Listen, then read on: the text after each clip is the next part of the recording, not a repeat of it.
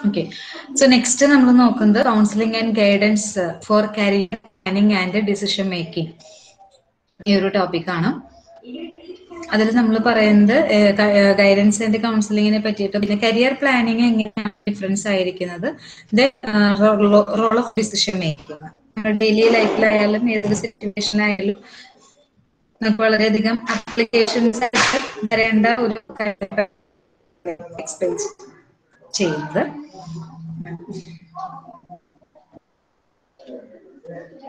Okay. അപ്പൊ ഇതിൽ പ്രധാനമായിട്ടും കരിയർ പ്ലാനിങ്ങിനും ഡിസിഷൻ മേക്കിങ്ങിനെ പറ്റിയിട്ടാണ് പറഞ്ഞിരിക്കുന്നത്. ചെയ്യുന്നതിന് വേണ്ടിയിട്ടാണെങ്കിൽ നമ്മളുടെ ചോയ്സസ് എന്താണ് നമ്മുടെ ആപ്റ്റിറ്റ്യൂഡ് എങ്ങനെയാണ് അതേപോലെ തന്നെ ഒരു ഡിസിഷൻ മേക്കിംഗ് എങ്ങനെ നമുക്ക് ഏറ്റവും കൂടി ഇഫക്റ്റീവ് ആയിട്ട് നടത്താം. അതൊരു വർക്കിംഗ് ഡിസിഷനിലായിക്കോട്ടെ അല്ലെങ്കിൽ ഒരു പേഴ്സണൽ ഡിസിഷനിലായിക്കോട്ടെ എങ്ങനെ ഏറ്റവും കൂടി ഇഫക്റ്റീവ് ആയിട്ട് നടത്താം എന്നുള്ളതാണ് ഇതിൽ എക്സ്പ്ലെയിൻ ചെയ്തിരിക്കുന്നത്. സോ ഓൾറെഡി നമ്മൾ പറഞ്ഞ പോലെ തന്നെ കൗൺസിലിംഗ് ആൻഡ് ഗൈഡൻസിന്റെ എന്താണ് ഗൈഡൻസും എന്താണ് കൗൺസിലിംഗ് എന്നുള്ളതാണ്. ഇപ്പോൾ ഗൈഡൻസ് എന്ന് പറയുമ്പോൾ ഇറ്റ്സ് ലേണിംഗ് എക്സ്പീരിയൻസ് ആണ്. To enable clients to acquire knowledge skills and competencies related to making personal education and career decisions കുറച്ചും കൂടി ആ ഒരു ഡീറ്റെയിൽഡ് ആയിട്ടുള്ള അല്ലെങ്കിൽ അവരുടെ പേഴ്സണൽ ആയിട്ടുള്ള ഒരു ഡിസിഷൻസ് അല്ലെങ്കിൽ എഡ്യൂക്കേഷണൽ ഡിസിഷൻസ് ഒക്കെ എടുക്കുന്നതിന് വേണ്ടി വേണ്ടിയിട്ട് ആ ഇൻഡിവിജ്വൽസിനെ ഇത്രയും കൂടി പർപ്പസീവ് ആയിട്ട് ഒരു ഓറിയന്റേഷൻ പ്രൊവൈഡ് ചെയ്യുക എന്നുള്ളതാണ് ഗൈഡൻസിന്റെ ഒരു ആസ്പെക്ട് പറഞ്ഞിരിക്കുന്നത്.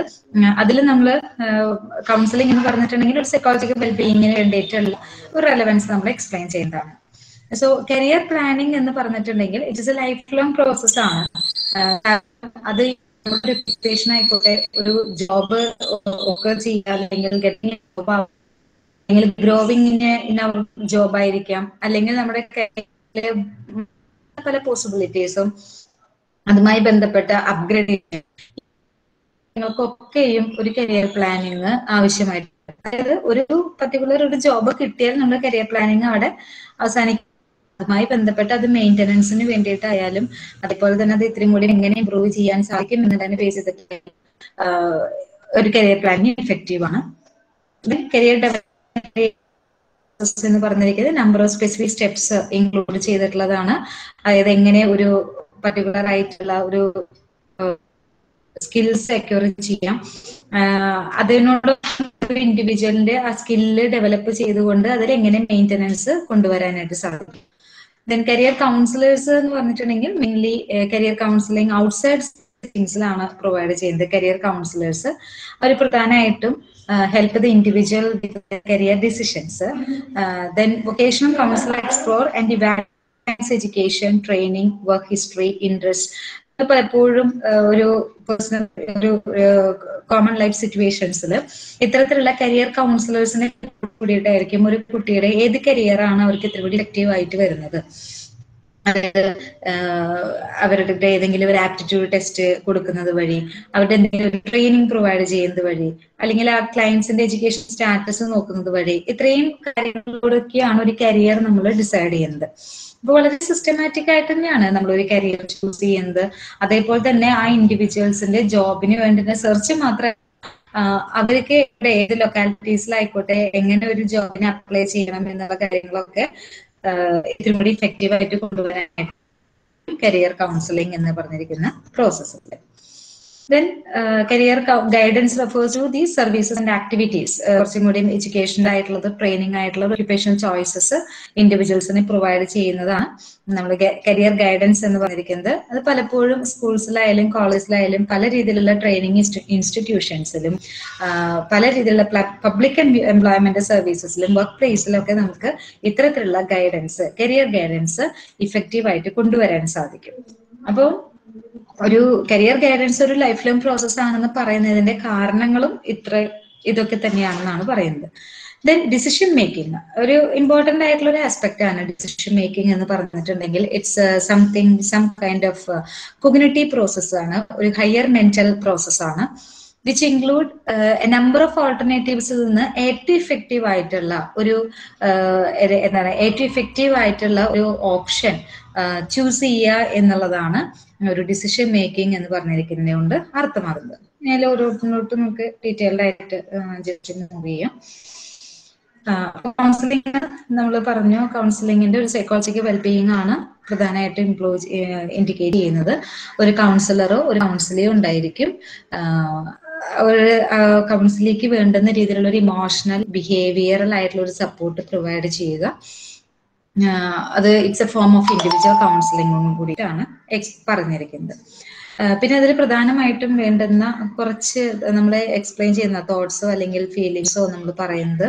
അത് കുറച്ചും കൂടി ഒരു പേഴ്സണലി ഇൻവോൾവ് ചെയ്യുന്ന ഒരു ഫാക്ടർ ആയതുകൊണ്ട് തന്നെ അതിൽ ഇൻവോൾവ് ഇൻവോൾവ് ചെയ്യുന്ന ഇൻഡിവിജ്വൽസിന് ഇഫക്റ്റീവായിട്ട് വേണ്ടുന്ന കുറച്ച് ക്യാരക്ടറിസ്റ്റിക്സ് ആണ് കോൺഫിഡൻഷ്യാലിറ്റി കൗൺസിലർ ഒരു കൗൺസിലിങ്ങുമായിട്ട് ബന്ധപ്പെട്ട് വരുന്ന ഏതൊരു ആസ്പെക്ട്സിനെയും അല്ലെങ്കിൽ ഏതൊരു തോട്ട്സ് ആയിക്കോട്ടെ അവരുടെ ഇമോഷൻസ് ആയിക്കോട്ടെ ഫീലിങ്സ് ആയിക്കോട്ടെ ഇതൊക്കെ ഇത്രയും കൂടി ഡീറ്റെയിൽഡ് ആയിട്ട് അല്ലെങ്കിൽ ഇത്രയും കൂടി ഒരു കോൺഫിഡൻഷ്യൽ ആയിട്ട് മെയിന്റെയിൻ ചെയ്യേണ്ടത് അത്രയും അത്യാവശ്യമാണ്. Then restrictions on the release of informations ഇപ്പൊ നമ്മൾ ക്ലയന്റ് പറയുന്ന ഏതൊരു ഇൻഫർമേഷൻസും അത് ക്ലയന്റിന്റെ സമ്മതത്തോടു കൂടി മാത്രമാണ് നമ്മളത് മറ്റുള്ള സ്ഥലങ്ങളിലോട്ട് അല്ലെങ്കിൽ വേറെ എവിടേക്കെങ്കിലോട്ട് അത് നമ്മളത് എക്സ്പ്രസ് ചെയ്യാനായിട്ട് പാടുള്ളൂ.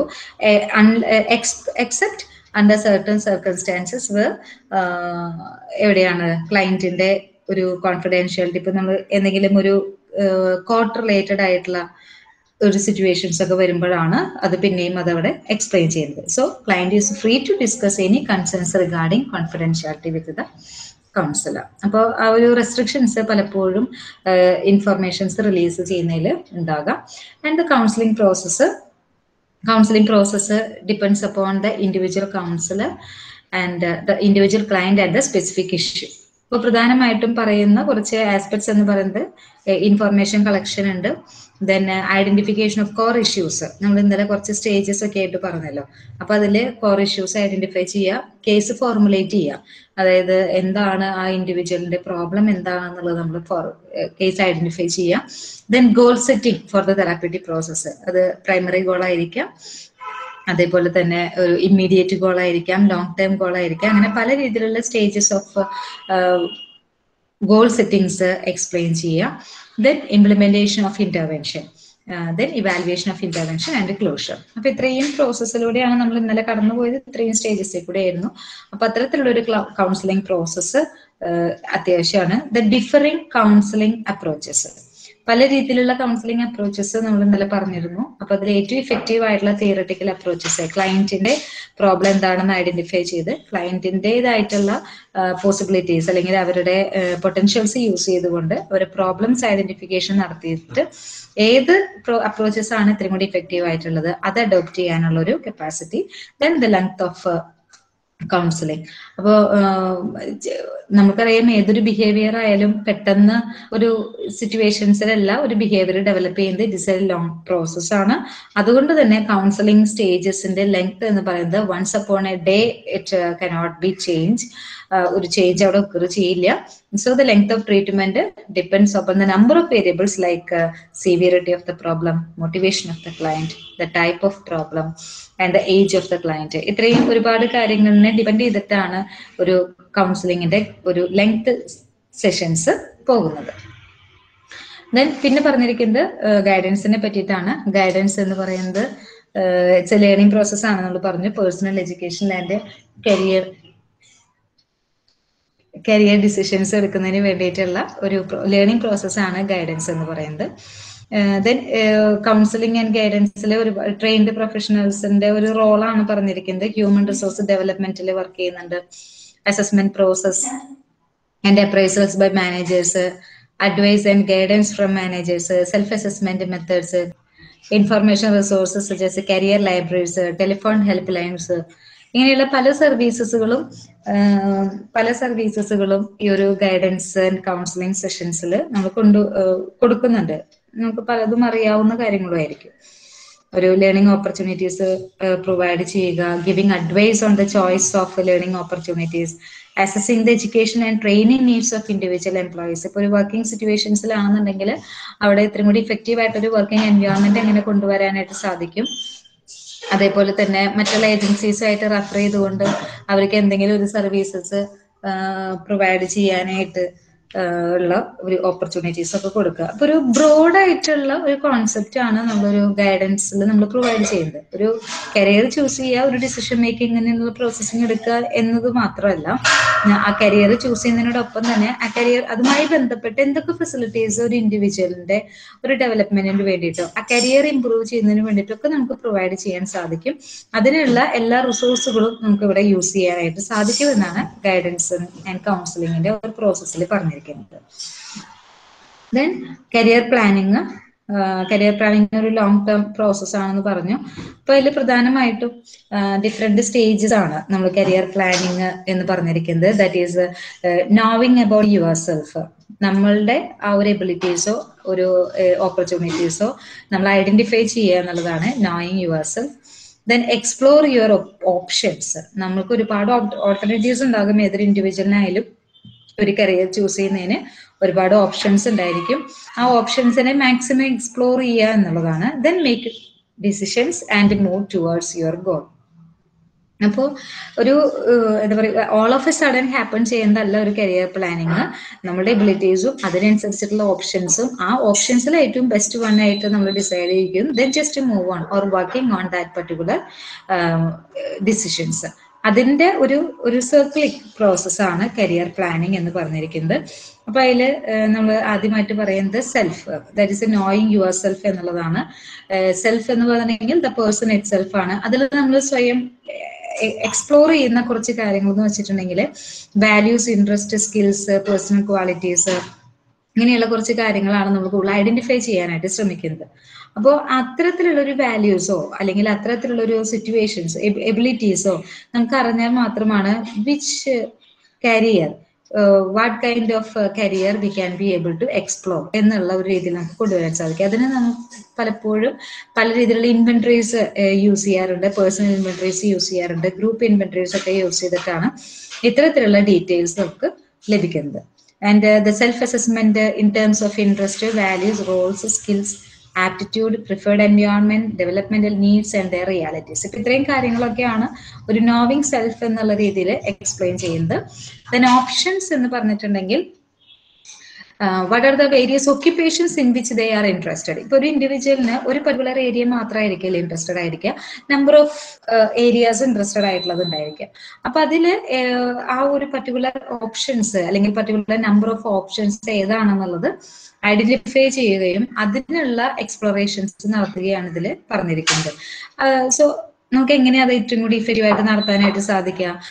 നമുക്ക് ആ ഒരു പർട്ടിക്കുലർ ഏരിയയിൽ ഇൻട്രസ്റ്റഡ് ആണെന്നുണ്ടെങ്കിൽ മെനി ഓഫ് അവർ സ്റ്റുഡൻസ് ഇപ്പോൾ ഫോർ എക്സാമ്പിൾ ആണെങ്കിൽ പ്ലസ് ടു കഴിഞ്ഞിട്ടോ ഡിഗ്രിക്ക് പഠിക്കുന്ന സമയങ്ങളിലൊക്കെ കുട്ടികൾക്ക് ഏതെങ്കിലും ഒരു ഏരിയയിൽ ഇൻട്രസ്റ്റഡ് ആയി കാണുകയാണെങ്കിൽ what they do they either go for a part time work related to that particular job അല്ലെങ്കിൽ some kind of internship programmes ഇപ്പോൾ lot of internship programmes are available for different aspects of careers അപ്പൊ പല type of internship programmes ഉണ്ട്. നമ്മളിപ്പോ online ആയതുകൊണ്ട് തന്നെ എവിടെ നിന്നിട്ടും അതിൽ എങ്ങനെയായാലും ആക്സസ് ചെയ്യാൻ പറ്റുന്ന രീതിയിലുള്ള ഫീസിബിൾ ആയിട്ടുള്ള നമ്പർ ഓഫ് ഇന്റേൺഷിപ്പ് പ്രോഗ്രാംസും ട്രെയിനിങ് പ്രോഗ്രാംസും അവൈലബിൾ ആണ്. അപ്പൊ അതൊക്കെ കുറച്ചും കൂടി ആ ഒരു ഇൻഡിവിജ്വലിന്റെ ഓപ്ഷൻസിന് ഇൻക്രീസ് ചെയ്യാനും അല്ലെങ്കിൽ ഏതാണ് ഏറ്റവും ബെസ്റ്റ് ആയിട്ടുള്ള ഒരു ഡിസിഷൻ മേക്കിങ്ങിന് വേണ്ടിയിട്ടുള്ള ഒരു റിസോഴ്സുകൾ എടുക്കുന്നതിന് വേണ്ടിയിട്ടൊക്കെ ഹെൽപ്ഫുൾ ആയിട്ടുള്ളതാണ് ഓപ്ഷൻസ് ദെൻ മാച്ച്. അതായത് നമുക്ക് ഏറ്റവും ഇഫക്റ്റീവ് ആയിട്ടുള്ള ഒരു ഓപ്ഷൻ നമ്മളത് സെലക്ട് ചെയ്യുക അല്ലെങ്കിൽ ഐഡന്റിഫൈ ചെയ്യുക എന്നുള്ളതാണ് ഇതിൽ ഉദ്ദേശിക്കുന്നത്. The individual can explore alternative variables and thus choose both a short time and long time option പലപ്പോഴും ഒരു പർട്ടിക്കുലർ ഒരു കരിയർ അല്ലെങ്കിൽ ഒരു പർട്ടിക്കുലർ ആയിട്ടുള്ള ഒരു ചോയ്സസ് ആയിരിക്കില്ല ഇൻഡിവിജ്വൽസ് പലപ്പോഴും എടുക്കുന്നത്. രണ്ടോ മൂന്നോ ഓപ്ഷൻസ് പലപ്പോഴും എടുക്കുന്നവരുണ്ടായിരിക്കും ഒരു കരിയർ സെലക്ട് ചെയ്യുന്നതിന് വേണ്ടിയിട്ട്. അതിൽ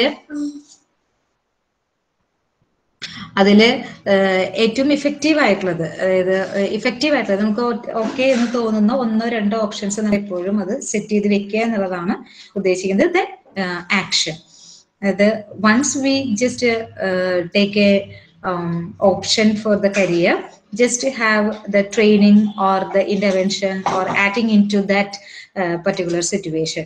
So they should have a, uh, they should have to develop a job searching strategy write an effective resume gather information regarding company and uh, prepare themselves for job interviews അപ്പൊ പലപ്പോഴും ഒരു job ഇന്റർവ്യൂവിന് പോകുന്ന സമയത്തായിരിക്കും സാധാരണ ഒരു സിറ്റുവേഷൻസിൽ ഒരു individual അതുമായി ബന്ധപ്പെട്ട ഡീറ്റെയിൽസ് ഒക്കെ കളക്ട് ചെയ്തത് പക്ഷെ ഒരു കരിയർ പ്ലാനിങ്ങിലൂടെ ആ ഇൻഡിവിജ്വൽസിന്റെ ഒരു റൂട്ട് മുതൽ അതായത് അവരുടെ ബേസിക് ആയിട്ടുള്ള കാര്യങ്ങൾ മുതലേ തന്നെ സെർച്ച് ചെയ്ത് ഐഡന്റിഫൈ ചെയ്ത് അവരുടെ ഡീറ്റെയിൽസ് അല്ലെങ്കിൽ പേഴ്സണൽ ആയിട്ടുള്ള ഡീറ്റെയിൽസ് ഒക്കെ കളക്ട് ചെയ്ത് അവരുടെ പ്രോബ്ലംസിനെ എടുത്തുകൊണ്ട് ലാസ്റ്റ് സ്റ്റേജിലാണ് എന്തിലോട്ട് പോകുന്നത്? ഒരു ആക്ഷൻ പ്രോസസ്സിലോട്ട് ലീഡ് ചെയ്യുന്നത്. അപ്പൊ നമ്പർ ഓഫ് സ്റ്റേജസിന് ഉള്ള പോസിബിലിറ്റീസ് കരിയർ പ്ലാനിങ്ങിൽ പ്രൊവൈഡ് ചെയ്യുന്നത് എന്നാണ് പറയുന്നത് then what is the inter relation between counselling and career planning അപ്പോൾ കരിയർ പ്ലാനിങ് എന്ന് പറഞ്ഞിട്ടുണ്ടെങ്കിൽ ഇറ്റ്സ് എ പ്രോസസ് ആണ് in which an individual decides and chooses an occupation of his or their interest with the help of a counsellor ഇതിൽ counsellor helps the individual to realise explore and analyse within themselves their interest and their capability ഇപ്പൊ രണ്ടുപേരുടെയും ഒരു mutual അണ്ടർസ്റ്റാൻഡിങ്ങിലൂടെയോ ഒരു mutual ഇന്ററാക്ഷൻസിലൂടെയോ ആണ് ഒരു career planning അവിടെ നടക്കുന്നത്. So career planning എന്ന് പറയുന്നത് ഒരു ആക്റ്റീവ് പ്രോസസ് ആണ്.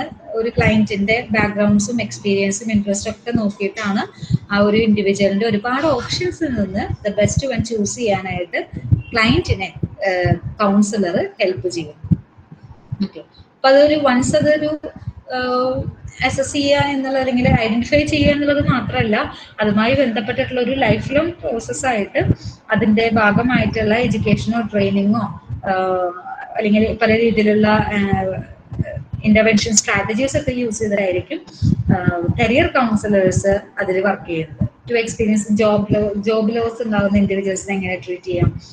ജോബ് സ്ട്രെസ് എങ്ങനെ റെഡ്യൂസ് ചെയ്യാം? കരിയർ ട്രാൻസിഷൻ ഇഷ്യൂസ് എങ്ങനെ സോൾവ് ചെയ്യാം? ഇത്രയും ഒരു വൈഡർ ആയിട്ടുള്ള ഒരു കോൺസെപ്റ്റ് ആണ് കൗൺസിലേഴ്സിന് പറയുന്നത്. Then there are different steps involved by counsellor in a career planning അപ്പൊ ഒന്നാമത്തെ സ്റ്റെപ്പ് എന്ന് പറയുന്നത് സെൽഫ് അസസ്മെന്റ് ആണ് self അസസ്മെന്റിൽ to know help the client to know and assess one one self അപ്പൊ അവരുടെ എബിലിറ്റീസും ലൈഫ് സ്റ്റൈലും ഇൻട്രസ്റ്റും ഒക്കെ അവരെ കൊണ്ട് തന്നെ ഒരു ഐഡന്റിഫിക്കേഷൻ പ്രോസസ്സിൽ കൊണ്ടുവരിക. ഐഡന്റിഫിക്കേഷൻ നടത്തുന്നതിന് വേണ്ടി പല രീതിയിലുള്ള ക്വസ്റ്റിനേഴ്സോ ഒപ്പീനിയൻ പോൾസുകളോ സർവേസോ ഒക്കെ കണ്ടക്ട് ചെയ്തിട്ടാണ് ഇൻഡിവിജ്വൽസിന്റെ അസസ്മെന്റ് നടത്തുന്നത്. അപ്പോൾ once that particular assessment complete ആയിട്ടുണ്ടെന്നുണ്ടെങ്കിൽ the help them to generate and explore a wide range of career options ഒരുപാട് നമ്പർ ഓഫ് കരിയർ ഓപ്ഷൻസിനുള്ള ഒരു പോസിബിലിറ്റീസ് അവിടെ പ്രൊവൈഡ് ചെയ്യുന്നു. ആ പോസിബിലിറ്റീസിൽ ദ ബെസ്റ്റ് വൺ ചൂസ് ചെയ്യാനായിട്ട് ഇൻഡിവിജ്വൽസിനെ ഹെൽപ്പ് ചെയ്ത് കൊടുക്കാം. അതാണ് ഫസ്റ്റ് സ്റ്റേജ് സെൽഫ് അവയർനെസ് എന്ന് പറഞ്ഞിരിക്കുന്ന ഒരു ഫസ്റ്റ് സ്റ്റേജ് എന്ന് പറഞ്ഞിരിക്കുന്നത്. അപ്പോൾ ഇതിൽ ശ്രദ്ധിക്കേണ്ട ഒരു കാര്യം കൗൺസിലർ എപ്പോഴും എന്തായിരിക്കും ഒരു ഇൻഡിവിജ്വലിന്റെ ഒരു റൈറ്റ് പാത്തിലൂടെ അല്ലേ അവരുടെ ആ ഒരു കരിയർ അവർ ഡെവലപ്പ് ചെയ്യുന്നതും അതിനെ അതിന്റെ ഭാഗമായിട്ടുള്ള സ്റ്റെപ്സുകൾ പ്രൊവൈഡ് ചെയ്യണേ എന്നുള്ളത് ഒരു ക്രോസ് ചെക്കിംഗ് ആണ് കൗൺസിലറിന് റോൾ വരുന്നത്. രണ്ടാമത്തെ സ്റ്റെപ്പ് എന്ന് പറയുന്നത് ഗോൾ സെറ്റിംഗ് ആണ്. ഏതൊരു ഇൻഡിവിജ്വലിനായാലും ഒരു കരിയറിന്റെ ഒരുപാട് ഓപ്ഷൻസ് അവിടെ വരുന്നുണ്ടെന്നുണ്ടെങ്കിൽ ഏത് അവരുടെ അക്കാഡമിക് ക്വാളിഫിക്കേഷൻ അനുസരിച്ചിട്ടോ work എക്സ്പീരിയൻസിനനുസരിച്ചിട്ടോ priorities and expectations in life ഇതിനനുസരിച്ചിട്ട് ഏത് ജോബാണ് അവർക്ക് ഇത്രയും കൂടി സ്യൂട്ടബിൾ ആകുന്നത്? ജസ്റ്റ് ഫിക്സ് ദാറ്റ് അല്ലെങ്കിൽ ആ ഒരു ഗോൾ സെറ്റിംഗ് അവിടെ പോസിബിൾ ആക്കുക എന്നുള്ളതാണ് പറയുന്നത് സെക്കൻഡ് സ്റ്റേജിൽ ആൻഡ് തേർഡ് സ്റ്റേജിൽ academic or career options improve provide ചെയ്യുക അതായത് നമുക്ക് ഇൻഡിവിജ്വലിന് കിട്ടുന്ന ഇൻഫോർമേഷൻസും മാക്സിമം ഇൻഫോർമേഷൻസ് കളക്ട് ചെയ്തുകൊണ്ട് അവർക്ക് ഏറ്റവും ഇഫക്റ്റീവ് ആയിട്ടുള്ള ഒരു കരിയർ ഓപ്ഷൻസ് ഇംപ്ലിമെന്റ് ചെയ്യുക ദെൻ പ്ലാൻ ഓഫ് ഓപ്ഷൻ നമ്മൾ നേരത്തെ പറഞ്ഞ കൗൺസിലിങ്ങിന്റെ ആ ഒരു സ്റ്റേജസിൽ പറഞ്ഞ പോലെ തന്നെ ഒരു ഇവിടെ ലാസ്റ്റ്ലി അവർ കൊണ്ടുവന്ന ഓപ്ഷൻസിന്റെ അവർ ഇത് ഇവിടെ അപ്ലൈ ചെയ്യുന്ന രീതിയിലോട്ട് അവരെ ലീഡ് ചെയ്യുക എന്നുള്ളതാണ് പ്ലാൻ ഓഫ് ആക്ഷൻ കൊണ്ട് ഉദ്ദേശിക്കുന്നത്. Okay then inter relation between guidance and career planning ആണ്. നേരത്തെ നമ്മൾ കൗൺസിലിംഗ് ആൻഡ് കരിയർ പ്ലാനിങ് ആണ് പറഞ്ഞത്. ഇത് ഗൈഡൻസ് ആൻഡ് കരിയർ പ്ലാനിങ് ആണ്. അപ്പോൾ ഗൈഡൻസിൽ പ്രധാനമായിട്ടും ഇൻഡിവിജ്വൽസിന്റെ എഡ്യൂക്കേഷനുമായി ബന്ധപ്പെട്ടതും അതേപോലെ തന്നെ അവരുടെ റൈറ്റ് ചോയ്സസിനനുസരിച്ചിട്ടുള്ള ഹയർ സ്റ്റഡീസിലോട്ടുള്ളതിനെ അവരെ ഡൈവേർട്ട് ചെയ്യാം. ഒരു സ്യൂട്ടബിൾ ആയിട്ടുള്ള ഒരു കരിയർ ചൂസ് ചെയ്യാം. കുറച്ചും കൂടി ഒരു എന്താ പറയുക ഒരു ഇൻഫോർമേറ്റീവ് റിലേറ്റഡ് ആയിട്ടായിരിക്കും ഗൈഡൻസ് കരിയർ പ്ലാനിങ്ങിനോട്ട് അപ്രോച്ച് ചെയ്യുന്നതെങ്കിൽ കൗൺസിലിംഗിൽ എന്താണ് ഒരു ഇൻഡിവിജ്വലിന്റെ ഇൻട്രസ്റ്റും എബിലിറ്റീസും കുറച്ചും കൂടി പേഴ്സണലൈസ്ഡ് ആയിട്ടായിരിക്കും ഒരു കരിയർ പ്ലാനിങ്ങിൽ കൗൺസിലേഴ്സ് ഇൻവോ ഇൻവോൾവ് ചെയ്യുന്നുണ്ടായിരിക്കും. അപ്പൊ ഗൈഡൻസിൽ കുറച്ചും കൂടി ഒരു സ്പെസിഫിക് ആയിട്ടോ അവരുടേതായിട്ടുള്ള ആ ഒരു ഇൻഫോർമേഷൻ റിലേറ്റഡ് ആയിട്ടോ ഒക്കെ ആയിരിക്കും ഒരു കരിയർ പ്ലാനിങ് അവർ ഡെവലപ്പ് ചെയ്യുന്നത്. ഓക്കെ അപ്പൊ അതിന്റെ എക്സ്പ്ലനേഷൻസ് ആണ് ഇവിടെ ഡീറ്റെയിൽഡ് ആയിട്ട് കൊടുത്തിരിക്കുന്നത്. ഒരു കരിയർ എന്ന് പറഞ്ഞിട്ടുണ്ടെങ്കിൽ എങ്ങനെ ചൂസ് ചെയ്യണം അവരുടെ എബിലിറ്റിക്ക് അനുസരിച്ചിട്ടും അവരുടെ മെറ്റീരിയൽസ് എന്തൊക്കെ രീതിയിലുള്ള ഒരു ഇഫക്റ്റീവ് ആയിട്ടുള്ള ട്രെയിനിങ് അവർക്ക് ലഭിക്കുന്നുണ്ട്. ഇതിനൊക്കെ ബേസ് ചെയ്തിട്ടാണ് ഒരു കരിയർ പ്ലാനിങ് ഡെവലപ്പ് ചെയ്യുന്നത്. There are two ways of starting the career planning രണ്ട് രീതിയിൽ നമുക്ക് കരിയർ പ്ലാനിങ് അവിടെ ഇംപ്രൂവ് ചെയ്യാം. വൺ എന്ന് പറഞ്ഞിരിക്കുന്നത് one is to find out what you really like doing and do it irrespective of the gains and growth patterns And the second is to find out uh, what really motivates you. Find out which among the careers gives you what you want and build up competencies for it അപ്പൊ രണ്ട് രീതിയിൽ ഇങ്ങനെയുള്ള രണ്ട് രീതിയിലും ഒരു career പ്ലാനിങ്ങിനോട്ടുള്ള ഒരു options ആണ് അവിടെ പ്രൊവൈഡ് ചെയ്യുന്നുണ്ടായിരിക്കുക. അപ്പോൾ പലർക്കും പല ആസ്പെക്റ്റിലായിരിക്കും ഒരു കരിയറിനോട് ഒരു പാഷനായിട്ട് ഡെവലപ്പ് ചെയ്യുന്നത്. അപ്പോൾ അവർ എന്താണ് എങ്ങനെയാണെന്നുള്ളതൊക്കെ ഒരു ക്രോസ് ചെക്കിങ് ഒക്കെ നടത്തിയിട്ടാണ് ഒരു കരിയർ ചൂസ് ചെയ്യുന്നത്. ഓക്കെ അപ്പോൾ അവരുടെ ആസ്പിറേഷൻ ലെവലും ക്ലയന്റിന്റെ ആസ്പിറേഷൻ ലെവലും ആപ്റ്റിറ്റ്യൂഡിനനുസരിച്ചിട്ടും അതേപോലെ തന്നെ അവരുടെ പ്രയോറിറ്റി ലിസ്റ്റിനനുസരിച്ചിട്ടും കോമ്പിറ്റൻസി സ്കില്ലിനനുസരിച്ചിട്ടൊക്കെ ആയിരിക്കും അവരെ കരിയർ ചൂസ് ചെയ്യുന്നുണ്ടായിരിക്കും. അപ്പൊ അത് അതൊക്കെ പറയുമ്പോഴാണ് അവർക്ക് ഇഷ്ടപ്പെടുന്ന ഒരു ജോലി ചെയ്യുക അല്ലെങ്കിൽ വളരെ സന്തോഷത്തോടു കൂടി ഒരു ജോലി ചെയ്യുക ആത്മാർത്ഥമായിട്ട് ജോലി ചെയ്യുക അങ്ങനെയുള്ള ഒരു കുറെ കോൺസെപ്റ്റ്സുകളൊക്കെ ഇത്തരത്തിലുള്ള ഒരു ഗൈഡൻസ് ആൻഡ് കൗൺസിലിംഗ് സെഷൻസിന്റെ ഭാഗമായിട്ട് ഒരു കരിയർ പ്ലാനിങ് ചൂസ് ചെയ്യുമ്പോൾ ആ ഇൻഡിവിജ്വൽസിനെ ഓട്ടോമാറ്റിക്കലി അവിടെ ഡെവലപ്പ് ചെയ്ത് വരുന്നതാണ്. രണ്ടാമത്തെ ആസ്പെക്ട് പറയുന്നതാണ് ഡിസിഷൻ മേക്കിംഗ് എന്ന് പറഞ്ഞിരിക്കുന്നത്.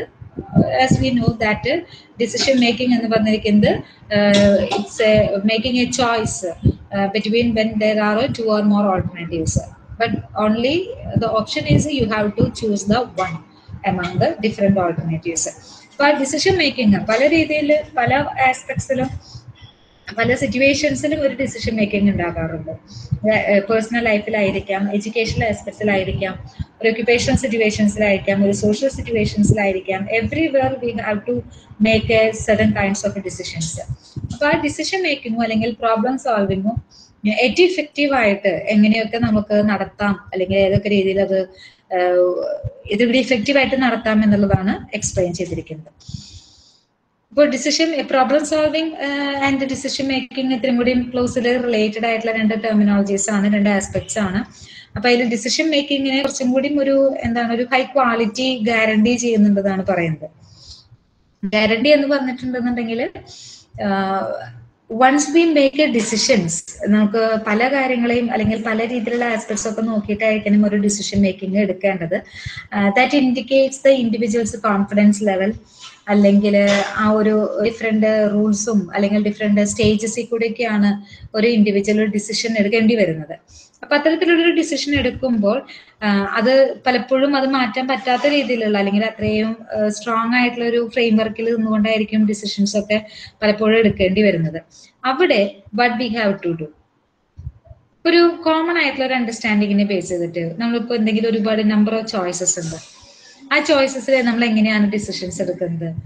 പലപ്പോഴും നമ്മുടെ മുമ്പിൽ ഒരു ഒരു ഒരു പ്രോബ്ലമാറ്റിക് സിറ്റുവേഷൻസ് വരുമ്പോൾ നമ്മുടെ ലൈഫിൽ ഒരുപാട് സിറ്റുവേഷൻസ് ഉണ്ടായിട്ടുണ്ടാകും. ഡേ ടു ഡേ ലൈഫിലും ഇതേപോലെ ഒരുപാട് നമ്പർ ഓഫ് സിറ്റുവേഷൻസിലൂടെ കടന്നു പോയിട്ടുണ്ടായിരിക്കും. ഇപ്പോൾ വർക്ക് ചെയ്യുന്ന സിറ്റുവേഷൻസിലായിക്കോട്ടും പല രീതിയിലുള്ള എൻവയോൺമെന്റൽ കണ്ടീഷൻസിലും ഒരു ഇഫക്റ്റീവ് ഡിസിഷൻ മേക്കിംഗ് എടുക്കേണ്ടതിന്റെ ആവശ്യകത വന്നിട്ടുണ്ടായിരിക്കും. അപ്പൊ ഏറ്റവും ഇഫക്റ്റീവ് ആയിട്ട് how we can be able to better decision നമ്മുടെ മുമ്പിൽ ഒരുപാട് ചോയ്സസ് ഉണ്ട്. ആ ചോയ്സസിനെ നമ്മൾ ക്രോസ് ചെക്ക് ചെയ്യുന്നു. അല്ലെ? ഓരോ ചോയ്സസിന്റെയും പോസിറ്റീവ്സും നെഗറ്റീവ്സും നമ്മൾ ഇവാലുവേറ്റ് ചെയ്യുന്നു ആ പോസിറ്റീവ്സും നെഗറ്റീവ്സും ഇപ്പൊ നമ്പർ ഓഫ് രണ്ട് മൂന്ന് ചോയ്സസ് ഉണ്ടെന്ന് വിചാരിക്കാം. ആ മൂന്ന് ചോയ്സസിനും മൂന്ന് ടൈപ്പ് ഓഫ് പോസിറ്റീവ്സ് ആയിരിക്കും. മൂന്ന് ചോയ്സസിനും മൂന്ന് ടൈപ്പ് ഓഫ് നെഗറ്റീവ്സും ഉണ്ടായിരിക്കും. ആ ചോയ്സസും അല്ലെങ്കിൽ ആ പോസിറ്റീവ്സും നെഗറ്റീവ്സും നമ്മൾ പരസ്പരം അങ്ങോട്ടും ഇങ്ങോട്ടും ക്രോസ് ചെക്ക് ചെയ്തിട്ട് ലീസ്റ്റ് നെഗറ്റീവ്സ് ഉള്ളതും മാക്സിമം പോസിറ്റീവ്സും ഉള്ളതുമായിട്ടുള്ള ഒരു ഓപ്ഷൻ ആയിരിക്കും നമ്മൾ choose ചെയ്യുന്നുണ്ടായിരിക്കാം. And that is the kind of decision making എന്ന് പറഞ്ഞിരിക്കുന്നത്. നമ്മൾ കുറച്ചും കൂടി ഒരു എന്താ പറയുക ഒരു സിറ്റുവേഷന്റെ പ്രോസും കോൺസും നോക്കിയിട്ടായിരിക്കും ഒരു ഡിസിഷൻ എടുക്കുക. അറ്റ് ദാറ്റ് പർട്ടിക്കുലർ മൊമെന്റിൽ അത് എത്രമാത്രം ഇഫക്റ്റീവ് ആകും എന്നുള്ളതിനേക്കാൾ ഉപരിയായിട്ട് അത് ഇംപ്ലിമെന്റ് ചെയ്ത് കഴിഞ്ഞാൽ അതിന്റെ കോൺസിക്വൻസസ് എന്തായിരിക്കും? അതിനെ ബേസ് ചെയ്തിട്ടായിരിക്കും പലപ്പോഴും ഡിസിഷൻസ് എടുക്കുന്നത്. അപ്പൊ അതിന് പല സ്റ്റേജസ് ആണ് ഒരു ഡിസിഷൻ മേക്കിങ്ങിനെ എക്സ്പ്ലോർ ചെയ്യുന്നത്. പല സ്റ്റേജസിൽ കൂടിയാണ് ഒരു ഡിസിഷൻ എടുക്കുക എന്നാണ് പറയുന്നത്. ഒന്ന് ഫ്രെയിം ദ പ്രോബ്ലം എന്താണ് ആക്ച്വൽ പ്രോബ്ലം എന്ന് നമ്മൾ ഐഡന്റിഫൈ ചെയ്യുന്നു. ദെൻ ചൂസ് ദ പീപ്പിൾ അതായത് അതിന്റെ ഓപ്പർച്യൂണിറ്റീസ് നമ്മൾ നോക്കുന്നു. അതിൽ ദ ബെസ്റ്റ് പ്രോസസ് നമ്മൾ നോക്കാൻ അല്ലെങ്കിൽ ബെസ്റ്റ് പ്രോസസ് ബെസ്റ്റ് ഓൾട്ടർനേറ്റീവ്സ് നമ്മൾ ചൂസ് ചെയ്യാൻ സെലക്ട് ചെയ്യുന്നു. Then create the alternatives define the values and analyse information അപ്പോൾ ഒരു ഡിഫറെന്റ് ആയിട്ടുള്ള സബ് കമ്പോണൻസ് ആയിട്ട് നമുക്ക് അതിനെ ഡിവൈഡ് ചെയ്യാം. രണ്ട് പ്രധാനമായിട്ട് declaring and working declare a decision and working on the decision ഇങ്ങനെ രണ്ട് ആസ്പെക്റ്റിലൂടെ ആറ് സ്റ്റേജസ് ആയിട്ടാണ് ഒരു ഡിസിഷൻ മേക്കിംഗ് എടുക്കുന്നത്. ഒന്നാമത് frame the problem what are you deciding and why എന്തിനെയാണ് നമ്മൾ ഡിസൈഡ് ചെയ്യേണ്ടത്? എന്തുകൊണ്ടാണ് അത് ഡിസൈഡ് ചെയ്യേണ്ടി വരുന്നത്? എത്രമാത്രം ഇമ്പോർട്ടന്റ് ആണ്? നമുക്ക് അതിനെ ഡിഫൈൻ ചെയ്യാൻ സാധിക്കുന്നുണ്ടോ? അതിനെ ഒരു ഫ്രെയിം കൊണ്ടുവരാൻ സാധിക്കുന്നുണ്ടോ? അതിനെ ഇത്തിരി കൂടിയും ഒരു ഒരു പ്രോബ്ലത്തിന് ഒരു ഓപ്പർച്യൂണിറ്റി അല്ലെങ്കിൽ അതിൽ വർക്ക് ചെയ്യാനായിട്ടുള്ള ഒരു ഓപ്പർച്യൂണിറ്റീസ് നമുക്ക് ഡെവലപ്പ് ചെയ്യുന്നുണ്ടോ? അത്തരത്തിലുള്ള ഒരുപാട് ഒരു ഫ്രെയിം ചെയ്യുക. നമ്മൾ ക്വസ്റ്റ്യൻസിനെ ഒന്ന് ഫ്രെയിം ചെയ്യുന്ന ഒരു ആസ്പെക്റ്റ് ആണ് ഫസ്റ്റ് സ്റ്റേജ് എന്ന് പറഞ്ഞിരിക്കുന്നത്. Second right people if you are a single actor or hold all the prerequisites of the detector this one is easy. അപ്പൊ നമ്മൾക്ക് ഒരുപാട് ഓപ്ഷൻസ് ഉണ്ടായിരിക്കും അല്ലെ? ഒരു ഓപ്ഷനേ ഉള്ളൂ എന്നുണ്ടെങ്കിൽ നമുക്ക് കുഴപ്പമില്ല. പെട്ടെന്ന് നമുക്ക് അതിനൊരു ഡിസിഷൻ എടുക്കാൻ സാധിക്കും. ബട്ട് പലപ്പോഴും the number of risk of the options അതായിരിക്കും നമുക്ക് പലപ്പോഴും ഒരു കൺഫ്യൂഷൻസ് ക്രിയേറ്റ് ചെയ്യുന്നത്.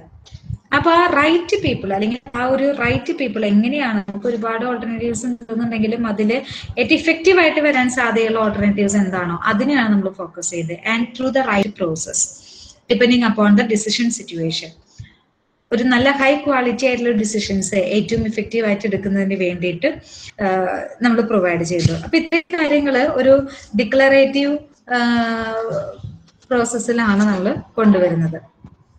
രണ്ടാമത്തത് വർക്കിംഗ് എ ഡിസിഷൻ അപ്പൊ ഇത്രയും കാര്യങ്ങൾ ഒരു ഡിസിഷന് മുൻപായിട്ട് ഡിസിഷൻ മേക്കിങ്ങിന് മുൻപായിട്ട് നമ്മൾ വരുന്ന സ്റ്റേജസ് ആണ്. ദെൻ സെക്കൻഡ് കാറ്റഗറി പറയുന്നതാണ് വർക്ക് എ ഡിസിഷൻ അതിൽ complete set of alternatives number of alternatives ഉണ്ടായിരിക്കും. മ്യൂച്വലി എക്സ്ക്ലൂസീവ് ആയിട്ടുള്ള ഒരുപാട് നമ്പർ ഓഫ് ഓൾട്ടർനേറ്റീവ്സ് ഉണ്ടായിരിക്കും.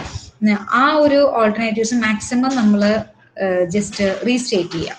Then value against which to make trade off ഓരോ ചോയ്സസിനും ഓരോ ഓൾട്ടർനേറ്റീവ്സിനും നമ്മൾ പല രീതിയിലുള്ള ഒരു ആട്രിബ്യൂട്ട്സ് കൊടുക്കുക അതായത് പോസിറ്റീവ് ആട്രിബ്യൂട്ട്സ് നെഗറ്റീവ് ആട്രിബ്യൂട്ട്സ് എന്നുള്ള രീതിയിൽ ഒരു പോസിറ്റീവ്സ് അല്ലെങ്കിൽ പോസിറ്റീവ് ഔട്ട്കംസ് നെഗറ്റീവ് ഔട്ട്കംസ് അങ്ങനെയുള്ള രീതിയിൽ അതിനെ ആട്രിബ്യൂട്ട് ചെയ്യാം.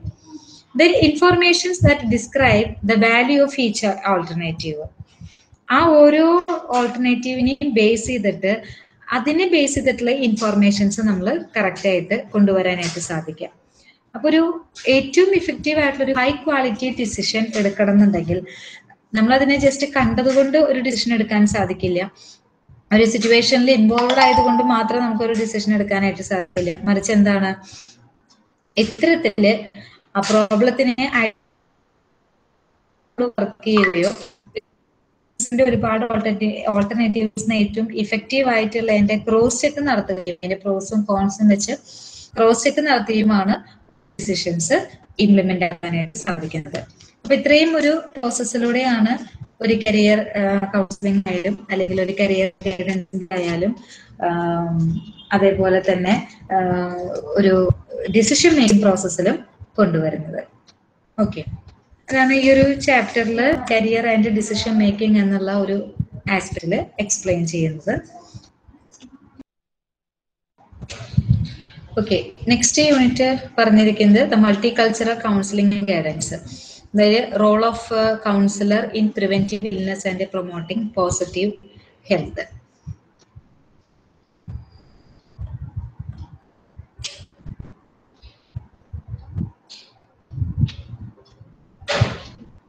അപ്പൊ ഇതിൽ പറഞ്ഞിരിക്കുന്ന ഒരു മൾട്ടി കൾച്ചറൽ കൗൺസിലിംഗ് സിസ്റ്റമാണ് അതായത് ഡിഫറെന്റ് ആസ്പെക്ട്സിൽ ഡിഫറെന്റ് ഏരിയാസ് ഓഫ് ഫംഗ്ഷൻസിൽ എങ്ങനെ ഒരു ഇഫക്റ്റീവ് ആയിട്ടുള്ള ഒരു കൗൺസിലിംഗ് പ്രോസസ്സ് കൊണ്ടുപോകാം എന്നുള്ളതിനെ പറ്റിയിട്ടാണ് പറഞ്ഞിരിക്കുന്നത്. So what is multi culturalism multi culturalism acceptance and promotion of multiple cultures apply to the demography demographic makeup of a specific place usually at the organization level. That is for example at a school's business neighborhood cities eh, or nations.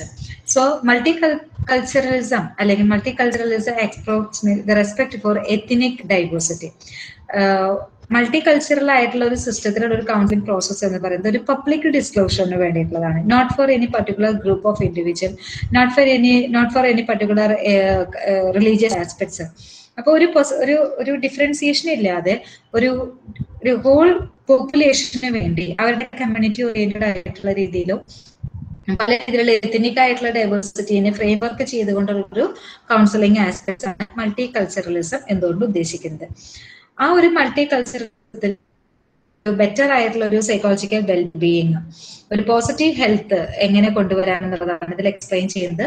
So naturally positive പറഞ്ഞിരിക്കുന്നത് it is a combination of the bio psycho social functions that is biological subjective and functional മെഷേഴ്സിന്റെ ഒരു ഒരു cyclic പ്രോസസ്സിനെയാണ് positive health എന്ന് പറയുന്നത്. So അതിൽ optimism എന്നുള്ളൊരു ട്രേറ്റ്സിന്റെ importance പറയുന്നുണ്ട്. അതേപോലെ തന്നെ ഒരു ഇൽനെസ് വരാതിരിക്കാനായിട്ട് നമുക്ക് ശ്രമിക്കാം അല്ലെങ്കിൽ ഒരു പ്രൈമറി പ്രിവെൻഷൻ എത്രമാത്രം ഇഫക്റ്റീവ് ആയിട്ട് നടക്കുന്നുണ്ട്. ഇത്രയും ആസ്പെക്ട്സിലാണ് ഡെവലപ്പ് ചെയ്തിരിക്കുന്നത്.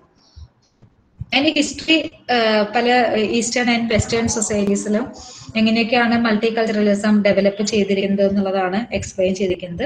അപ്പോൾ ഓരോ കൾച്ചറിനും അതിന്റെതായിട്ടുള്ള ഒരു ഇതിനൊക്കെ ഫോർമാറ്റ് ഉണ്ടായിരിക്കും. ഓരോ കൾച്ചറിന്റെയും ലാംഗ്വേജസ് ആയാലും അവരുടെ റിലീജിയൻ ആസ്പെക്റ്റിലുള്ള ഒരുപാട് ഡൈവേഴ്സിറ്റീസ് ഉണ്ടായിരിക്കും. അതിനെയൊക്കെ ഫ്രെയിം വർക്ക് ചെയ്തിട്ട് യൂറോപ്പിലായാലും യു എസ് എയിലായാലും അതേപോലെ തന്നെ ഓസ്ട്രേലിയ ഇന്ത്യ ഇന്തോനേഷ്യ ഇങ്ങനെ എല്ലാ ഡിഫറെന്റ് നേഷൻസിലും different ആസ്പെക്ട്സിലുള്ള based on their cultures based on their linguistic aspects based on their geographical entity അങ്ങനെ ഒരുപാട് ആസ്പെക്ട്സിനെ ബേസ് ചെയ്തിട്ടാണ് ഒരു multi culturalism counselling aspects develop ചെയ്തു വന്നിരിക്കുന്നത്. അപ്പോൾ ഇന്ത്യയിൽ അറിയാം ദ മോസ്റ്റ് റിലീജിയോസിറ്റി ഡൈവേഴ്സിറ്റി ഉള്ള ഒരു നേഷനാണ് അതിലെ പല ഡിഫറെന്റ് ആസ്പെക്ട്സ് ഉണ്ട്. ഈ ഓരോ റിലീജിയസ് ആസ്പെക്ട്സിലായിക്കോട്ടെ നാഷണൽ ജിയോഗ്രഫിക്കൽ കണ്ടീഷൻസിലായിക്കോട്ടെ ജിയോഗ്രഫിക്കൽ ആസ്പെക്ട്സിലായിക്കോട്ടെ ഇന്റഗ്രേഷൻസിലായിക്കോട്ടെ ഇതിലെല്ലാത്തിനും ഒരുമിച്ച് നിർത്തിക്കൊണ്ട് എങ്ങനെ ഒരു കൗൺസിലിംഗ് സെഷൻസ് കൊണ്ടുപോകാം എന്നുള്ള ഒരു തിയറിയുടെ ഭാഗമായിട്ടാണ് മൾട്ടികൾച്ചറലിസം ഡെവലപ്പ് ചെയ്തിരിക്കുന്നത്. അപ്പോൾ ഓരോ നേഷനും പ്രൊമോട്ട് ചെയ്യുന്ന മൾട്ടി കൾച്ചറലിസം ആസ്പെക്ട് ഡിഫറെന്റ് ആയിരിക്കും എന്നാണ് ഇതിൽ ഉദ്ദേശിക്കുന്നത്. ഓക്കെ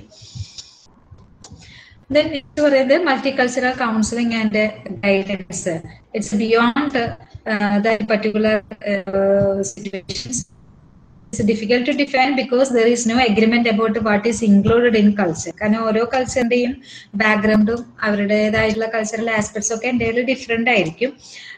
എന്നിരുന്നാലും ഓരോ കൾച്ചറിനെയും റെസ്പെക്റ്റ് ആയിട്ടുള്ള അല്ലെങ്കിൽ ഓരോ കൾച്ചറിനെയും റെസ്പെക്റ്റീവ് ആയിട്ടുള്ള കൾച്ചറൽ ബാക്ക്ഗ്രൗണ്ടിൽ നിന്നുകൊണ്ടായിരിക്കും ഒരു കൗൺസിലിംഗ് സെഷൻസും അല്ലെങ്കിൽ ഒരു ഗൈഡൻസ് സെഷൻസും ഒക്കെ പ്രൊവൈഡ് ചെയ്യുന്നുണ്ടായിരിക്കാം അപ്പോൾ ഏത് കൾച്ചറിലുള്ള ഇൻഡിവിജ്വൽസ് ആണ് ഒരു കൗൺസിലിംഗ് അല്ലെങ്കിൽ ഗൈഡൻസ് പ്രൊവൈഡ് ചെയ്യുന്നത് ആ വ്യക്തിക്ക് ആ കൾച്ചറുമായി ബന്ധപ്പെട്ട എല്ലാ ഡീറ്റെയിൽസിലൂടെയും പോകാനായിട്ട് സാധിക്കണം. അല്ലെങ്കിൽ അതിനെ സപ്പോർട്ട് ചെയ്തുകൊണ്ടുള്ള ഒരു അപ്രോച്ചസ് ആയിരിക്കണം ഒരു കൗൺസിലർ അല്ലെങ്കിൽ ഒരു കരിയർ ഗൈഡൻസ് ഇൻഡിവിജ്വൽസ് അവിടെ പ്രൊവൈഡ് ചെയ്യേണ്ടത്.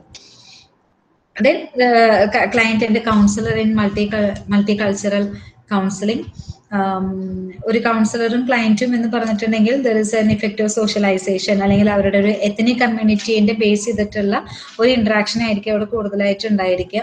അവിടെ ഒരു യുണീക്ക് ആയിട്ടുള്ള ഒരു പേഴ്സണൽ ഹിസ്റ്ററീസോ കൾച്ചേഴ്സോ ഒക്കെ ഈ ഗൈഡൻസ് ആൻഡ് കൗൺസിലിംഗ് പ്രോസസ്സിലൊക്കെ കൊണ്ടുവരാനായിട്ട് സാധിക്കും. Like gender social class religion language ഇതൊക്കെ എഫക്റ്റീവ് ആയിട്ട് ഹാൻഡിൽ ചെയ്യാൻ പറ്റുന്ന രീതിയിലായിരിക്കണം ഒരു കൗൺസിലിംഗ് സെഷൻസ് അവിടെ പ്രൊവൈഡ് ചെയ്യേണ്ടത്. ദെൻ ഗൈഡൻസ് എന്ന് പറഞ്ഞിട്ടുണ്ടെങ്കിൽ റേഞ്ച് ഓഫ് പ്രോസസ് ആണ്. Design to enable individuals to make informed choices and transitions related to their educational vocational and personal development അപ്പൊ അതിൽ ഈ പറഞ്ഞിരിക്കുന്ന ഒരു കൾച്ചറൽ ആസ്പെക്ട്സിന് അനുസരിച്ചിട്ടുള്ള എന്നുള്ള ഒരു ഫ്രെയിം വർക്കും കൂടി അവിടെ പറയുന്നുണ്ടായിരിക്കും. അതേപോലെ തന്നെ കൗൺസിലിംഗിൽ ഇത്രയും കൂടി ഒരു ഡീപ്പർ ആയിട്ടുള്ള ഒരു പ്രോസസ്സാണ് കുറച്ചും കൂടി ഇഫക്റ്റീവ് ആയിട്ട് കുറച്ചും കൂടി ഒരു ക്ലാരിറ്റി ഓറിയന്റഡ് ആയിട്ട് ആ ഇൻഡിവിജ്വൽസിന്റെ പേഴ്സണൽ ആയിട്ടുള്ള ഇഷ്യൂസ് ഇമോഷണൽ ആയിട്ടുള്ള പ്രോബ്ലംസ് ഒക്കെ സോൾവ് ചെയ്യുന്ന രീതിയിലുള്ള ഒരു പ്രോസസ്സിംഗ് ആണ് കൗൺസിലിംഗ് മൾട്ടി കൾച്ചറൽ ആസ്പെക്ട്സിൽ പ്രൊവൈഡ് ചെയ്യുന്നത്. ഡിഫറൻസ് എന്ന് പറഞ്ഞിട്ടുണ്ടെങ്കിൽ ഇത്രയേ ഉള്ളൂ. മൾട്ടി കൾച്ചറലിസം എന്നുകൊണ്ട് ഉദ്ദേശിക്കുന്നത് ഒരു എന്താ പറയുക ഒരു എത്തനിസിറ്റി ഒരു വൈഡ് റേഞ്ച് ഓഫ് എത്തനിറ്റീസിനെ ബേസ് ചെയ്തിട്ടായിരിക്കണം അവിടുത്തെ സെഷൻസ് ഒക്കെ പ്രൊവൈഡ് ചെയ്യേണ്ടത്. അവരെ കൺസിഡർ ചെയ്തുകൊണ്ട്. ലാംഗ്വേജ് ആയാലും റിലീജിയൻ ആയാലും റേസ് റേസ് സിസ്റ്റംസ് ആയാലും അതേപോലെ തന്നെ കൾച്ചറൽ വാല്യൂസ് ആറ്റിറ്റ്യൂഡ്സ് ഇതിന്റെയൊക്കെ ഒരു ഇംപ്ലിക്കേഷൻസ് ക്ലയന്റിലും കൗൺസിലറിലും നമുക്ക് കാണാനായിട്ട് സാധിക്കും. So what are the trends in multicultural counselling പ്രധാനമായിട്ട് രണ്ട് കൾച്ചർ ട്രെൻഡ്സ് ആണ് മൾട്ടി കൾച്ചറൽ കൗൺസിലിംഗിൽ പറയുന്നത്. ഒന്ന് the universal trend which emphasise that all counselling is multicultural that is all individuals belong to many cultures that are different from those of others ഒരു universal trend നമ്മൾ provide ചെയ്യുന്നുണ്ട്. രണ്ട് cultural specific trend emphasise the importance of cultural specific knowledge and the specific nature of certain cultural groups അപ്പോൾ പൊതുവേ ചില സമയങ്ങളിൽ ചില സിറ്റുവേഷൻസിൽ ഒരു യൂണിവേഴ്സൽ ട്രെൻഡ് ആയിരിക്കും. പ്രൊവൈഡ് ചെയ്യുന്നുണ്ടായിരിക്കും പക്ഷെ ചില സിറ്റുവേഷൻസിൽ ഒരു കൾച്ചറൽ സ്പെസിഫിക് ട്രെൻഡ് ആയിരിക്കും കൗൺസിലിംഗ് സെഷൻസിൽ ഉടനീളം ഉണ്ടായിരിക്കും. അപ്പൊ അങ്ങനെ രണ്ട് ട്രെൻഡ്സ് ആണ് പൊതുവെ മൾട്ടി കൾച്ചറൽ കൗൺസിലിംഗ്സിൽ അഡോപ്റ്റ് ചെയ്യേണ്ടി വരുന്നത്. അതിൽ റോൾ ഓഫ് കൗൺസിലർ എന്ന് പറയുന്നത് he definitely should be able to known about the cultural background and experiences about the values of the particular states of an individual ആ ഒരു കൾച്ചറൽ സെൽഫ് അവയർനെസ്സും അതേപോലെ തന്നെ ഒരു സെൻസിറ്റിവിറ്റി ഒക്കെ ഇഫക്റ്റീവ് ആയിട്ട് വരേണ്ടതാണ്. അത് പ്രധാനമായിട്ടും പറയാൻ കാരണം പല ഡിഫറെന്റ് എത്തനറ്റിക് ഗ്രൂപ്പ്സിലും പല ഡിഫറെന്റ് റേസിൽ ഗ്രൂപ്പ്സിലും ഇമോഷണൽ റിയാക്ഷൻസ് പോലും ഡിഫറെന്റ് ആയിരിക്കും എന്നാണ് പറഞ്ഞിരിക്കുന്നത്. അവരുടെ പോസിറ്റീവ് ഇമോഷൻസും നെഗറ്റീവ് ഇമോഷൻസും വളരെ സെൻസിറ്റീവ് ആയിട്ട് നോക്കി കാണുന്ന ക്ലയൻസ് ആണ് ചുറ്റിനും ഉണ്ടായിരിക്കുക അപ്പൊ അതിനൊക്കെ അത്യാവശ്യം നല്ലൊരു കെയർഫുൾ ആയിട്ടായിരിക്കണം ഒരു കൗൺസിലർ അവിടെ വർക്ക് ചെയ്യേണ്ടത്. Without a non judgemental without a judgemental fashion അവരുടേതായിട്ടുള്ള ബിലീവ്സും അവരുടേതായിട്ടുള്ള ആറ്റിറ്റ്യൂഡ്സും ഒക്കെ ഒരു എന്താ പറയാ ഒരു എഗെയിൻസ്റ്റ് ചെയ്യാതെ അതിനെ ഹോൾഡ് ചെയ്തുകൊണ്ട് അതിനെ പെർസീവ് ചെയ്ത് ഇത്ര കൂടി ഇഫക്റ്റീവ് ആയിട്ടുള്ള രീതിയിൽ ഹാൻഡിൽ ചെയ്യാനുള്ള ഒരു എബിലിറ്റി കൗൺസിലറിന് ഉണ്ടായിരിക്കണം. And counsellor respect clients religions spiritual beliefs values including attributions and taboos പലപ്പോഴും ഇവിടെ അങ്ങനത്തെ ഉള്ള ഒരു സിറ്റുവേഷൻസ് പോലും ഇപ്പൊ എന്തെങ്കിലും ഒരു എന്താ ഒരു റിലീജിയനോടോ അല്ലെങ്കിൽ ഒരു സ്പിരിച്വൽ ബിലീഫ്സിനോടോ ഒരു വാല്യൂ സിസ്റ്റത്തിനോടോ ഒരു നെഗറ്റീവ് ആയിട്ടുള്ള ഒരു ജഡ്ജ്മെന്റ് കൊണ്ടുവരുന്ന രീതിയിലുള്ള ഒരു ഈവൻ ഒരു ഐ കോണ്ടാക്ട് പോലും അത് ക്ലയന്റിനെ പെട്ടെന്ന് സെൻസ് ചെയ്യാനായിട്ട് സാധിക്കും. അപ്പൊ അത്തരത്തിലുള്ള കാര്യങ്ങളൊക്കെ കുറച്ചും കൂടി ഒരു ഇഫക്റ്റീവ് ആയിട്ടുള്ള രീതിയിലായിരിക്കണം counsellor ഇടപെടേണ്ടത്. And the counsellor could have a specific knowledge about their own racial and cultural heritage and how it personally and professionally affects their definitions and biases of normality and abnormality and the process of counselling അപ്പൊ നമ്മൾ ഇവിടെ ഇരിക്കുന്ന സിറ്റുവേഷൻസിൽ പല behaviours ഇപ്പൊ നമ്മുടെ മുമ്പിൽ ഇരിക്കുന്ന client എടുക്കുന്ന പല ബിഹേവിയേഴ്സും ചില സമയങ്ങൾ അബ്നോർമൽ ആയിട്ട് തോന്നാം. Based on that particular culture പക്ഷെ ആ ക്ലയന്റിന്റെ കൾച്ചറിനനുസരിച്ചിട്ട് ചിലപ്പോൾ അതൊരു നോർമൽ ആയിട്ടുള്ള പാറ്റേൺ ഓഫ് ബിഹേവിയർ ആയിരിക്കും. ഇത് ഈ പറഞ്ഞിരിക്കുന്ന ഒരു നോർമാലിറ്റി അബ്നോർമാലിറ്റി ഡിഫറൻസിയേഷൻ പോലും എന്താണ്? പലപ്പോഴും കൾച്ചർ വരാനുള്ള സാധ്യത കൂടുതലാണ്. Counsellor understand how race culture അല്ലെങ്കിൽ എത്തനിസിറ്റി അത് എത്രമാത്രം എത്രമാത്രം ഇമ്പോർട്ടന്റ് ആയിട്ട് ഒരു സെഷൻസിൽ അല്ലെങ്കിൽ ആ ഒരു ഹെൽത്ത് സീക്കിംഗ് സിറ്റുവേഷൻസിൽ വരുന്നുണ്ട് എന്നുള്ളത് നോക്കേണ്ടതാണ്. Then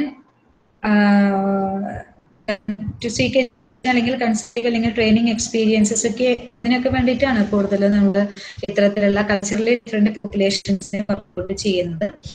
So being able to recognize the limits of their competencies, they seek a consultation, seek further training or education, refer out to more qualified individuals or resources or engage in a combination of these. ഇപ്പൊ ഏതെങ്കിലും ഒരു സിറ്റുവേഷൻസിൽ എവിടെയെങ്കിലും ഒരു ഒരു ഒരു loop whole വരികയാണെങ്കിൽ എവിടെയെങ്കിലും ഒരു ലിമിറ്റേഷൻസ് വരികയാണെങ്കിൽ ഇത്തരത്തിലുള്ള കോൺസിക്വൻസസ് ആയിരിക്കും അവിടെ ഉണ്ടാകാനായിട്ട് സാധിക്കുന്നുണ്ടായിരിക്കുക so a well trained counsellor have to be engaged with verbal and non verbal helping responses with their with respect to their particular uh, cultural aspects. അപ്പൊ ഇത്രയും ഒരു ഗോൾസ് അല്ലെങ്കിൽ ഒരു റോളാണ് ഒരു കൗൺസിലറിന് ഉണ്ടാകേണ്ടത് especially in multi cultural ആസ്പെക്ട്സിൽ what is positive health positive health എന്ന് പറഞ്ഞിട്ടുണ്ടെങ്കിൽ it is mere absence of any kind of disease ആ ഒരു അതിനെയാണ് നമ്മൾ പോസിറ്റീവ് ഹെൽത്ത് എന്ന് പറഞ്ഞിരിക്കുന്നത്. അത് ബയോളജിക്കൽ ആയിക്കോട്ടെ സൈക്കോളജിക്കൽ ആയിക്കോട്ടെ ഒരു സോഷ്യൽ ഫംഗ്ഷനിങ്ങിൽ റിലേറ്റ് ചെയ്തിട്ടായിക്കോട്ടെ. അപ്പൊ ഹെൽത്ത് എന്താണെന്നുള്ളത് അറിയാം. വേൾഡ് ഹെൽത്ത് ഓർഗനൈസേഷന്റെ അടിസ്ഥാനത്തിൽ health is a state of complete physical complete positive physical mental and social wellbeing and not merely any absence of disease or informative അപ്പോൾ ഒരു മെന്റൽ ഹെൽത്ത് ആയിക്കോട്ടെ ഒരു ഫിസിക്കൽ ഹെൽത്ത് ആയിക്കോട്ടെ ഒരു ഒരു വെൽബീയിങ് ക്രിയേറ്റ് ചെയ്യാം. പ്രത്യേകിച്ച് ഒരു ഡിസീസ് കണ്ടീഷൻസോ അല്ലെങ്കിൽ അത്തരത്തിലുള്ള ഒരു ഇൻഫോർമേറ്റീവ് ആ ഇൻഡിവിജ്വലിന്റെ ഫിസിക്കൽ ആയിട്ടുള്ളതും സൈക്കോളജിക്കൽ ആയിട്ടുള്ളതും ഫങ്ഷൻസ് ഇതും കൂടി ഇഫക്റ്റീവ് ആയിട്ട് ഒരു മെയിന്റനൻസ് ഉണ്ടെന്നുണ്ടെങ്കിൽ ഹെൽത്ത് എന്നാണ് പറയുന്നത്. അപ്പൊ പോസിറ്റീവ് ഹെൽത്തിന് there is a kind of criterions view of nature ഉണ്ടായിരിക്കും. അവിടെ ഒരു സെൽഫ് കൺട്രോൾ ഉണ്ടായിരിക്കും പോസിറ്റീവ് ഫീലിംഗ് അങ്ങനെ ഒരുപാട് ഓറിയന്റേഷൻസ് അല്ലെങ്കിൽ ഒരുപാട് ക്രൈറ്റീരിയസ് പറഞ്ഞിരിക്കും a definition of uh, uh, health and there are different uh, philosophical orientations. First one is a philosophical orientation. Philosophical orientation, the first perspective എന്ന് പറയുന്ന പേരാണ് ഹെഡനിസം പറഞ്ഞിരിക്കുന്നത് It defines well-being and the presence of positive effect and the absence of negative effect. Positive effect ഉണ്ടായിട്ട് positive emotion ഫീലിംഗിന്റെ പ്രസൻസും ഒരു negative emotion ഫീലിംഗിന്റെ ആബ്സെൻസിനെയാണ് ഹെഡനിസം എന്ന് പറഞ്ഞിരിക്കുന്ന പോസിറ്റീവ് ഓറിയന്റേഷനിലൂടെ പോസിറ്റീവിനെ എക്സ്പ്ലെയിൻ ചെയ്യുന്നത്. ഈ ഒരു പോസിറ്റീവ് എഫക്റ്റിന്റെ എഫക്റ്റ് എന്ന് പറഞ്ഞിരിക്കുന്നത് happiness it is a sum of our pleasure moments അതായത് എന്തിലാണോ എവിടെയാണോ ഉള്ളത് എവിടെ എങ്ങനെയാണോ ഉള്ളത് അതിൽ നമ്മൾ എൻജോയ് ചെയ്യുക അല്ലെങ്കിൽ അതിൽ നമ്മൾ പോസിറ്റീവ് ആയിട്ട് ഇരിക്കുക എന്നുള്ളതിനെയാണ് ഹെഡനിസം എന്നുള്ള മീനിങ് കൊണ്ട് അർത്ഥമാക്കുന്നത്. ദെൻ സെക്കൻഡ് ആസ്പെക്ട് എന്ന് പറഞ്ഞിരിക്കുന്നതാണ് eudaimonia it is second perspective suggest that wellbeing does not consist in maximising positive experiences and minimising negative ones but refer to living fully or to allow for the richest human potential possible. അപ്പോ രണ്ടാമത് philosophical orientation ആയിട്ടുള്ള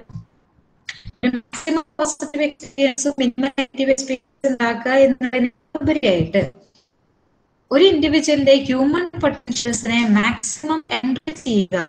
ആ ഒരു പറഞ്ഞിരിക്കുന്ന ഒരു positive ഉദ്ദേശിച്ചിരിക്കുന്നത്.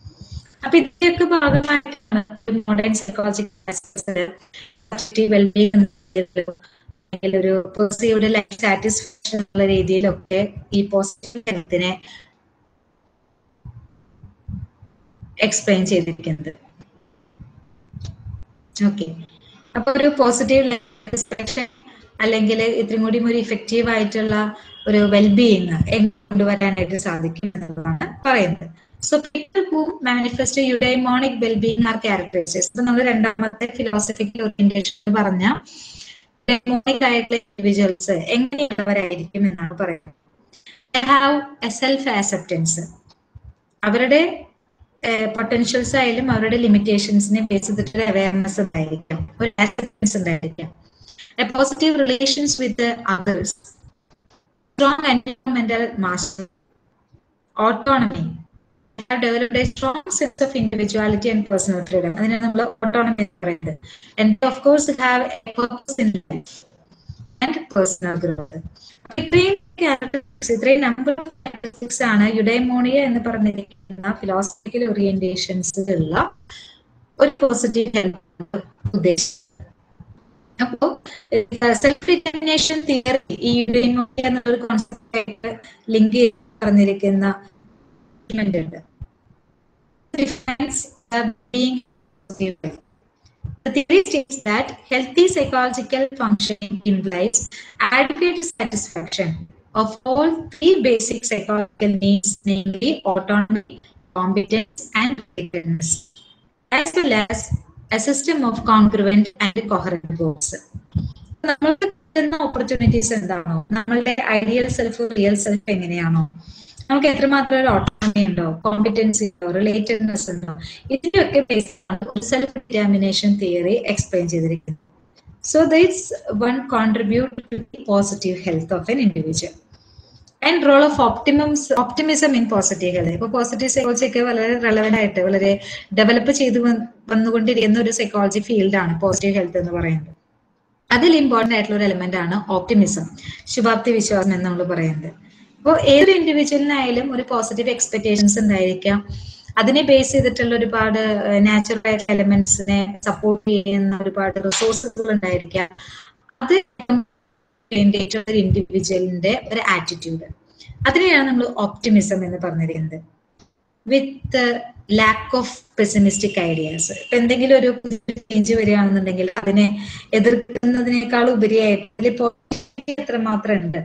എന്നുള്ളത് നോക്കി കാണാനുള്ള ഒരു കപ്പാസിറ്റി ആ positive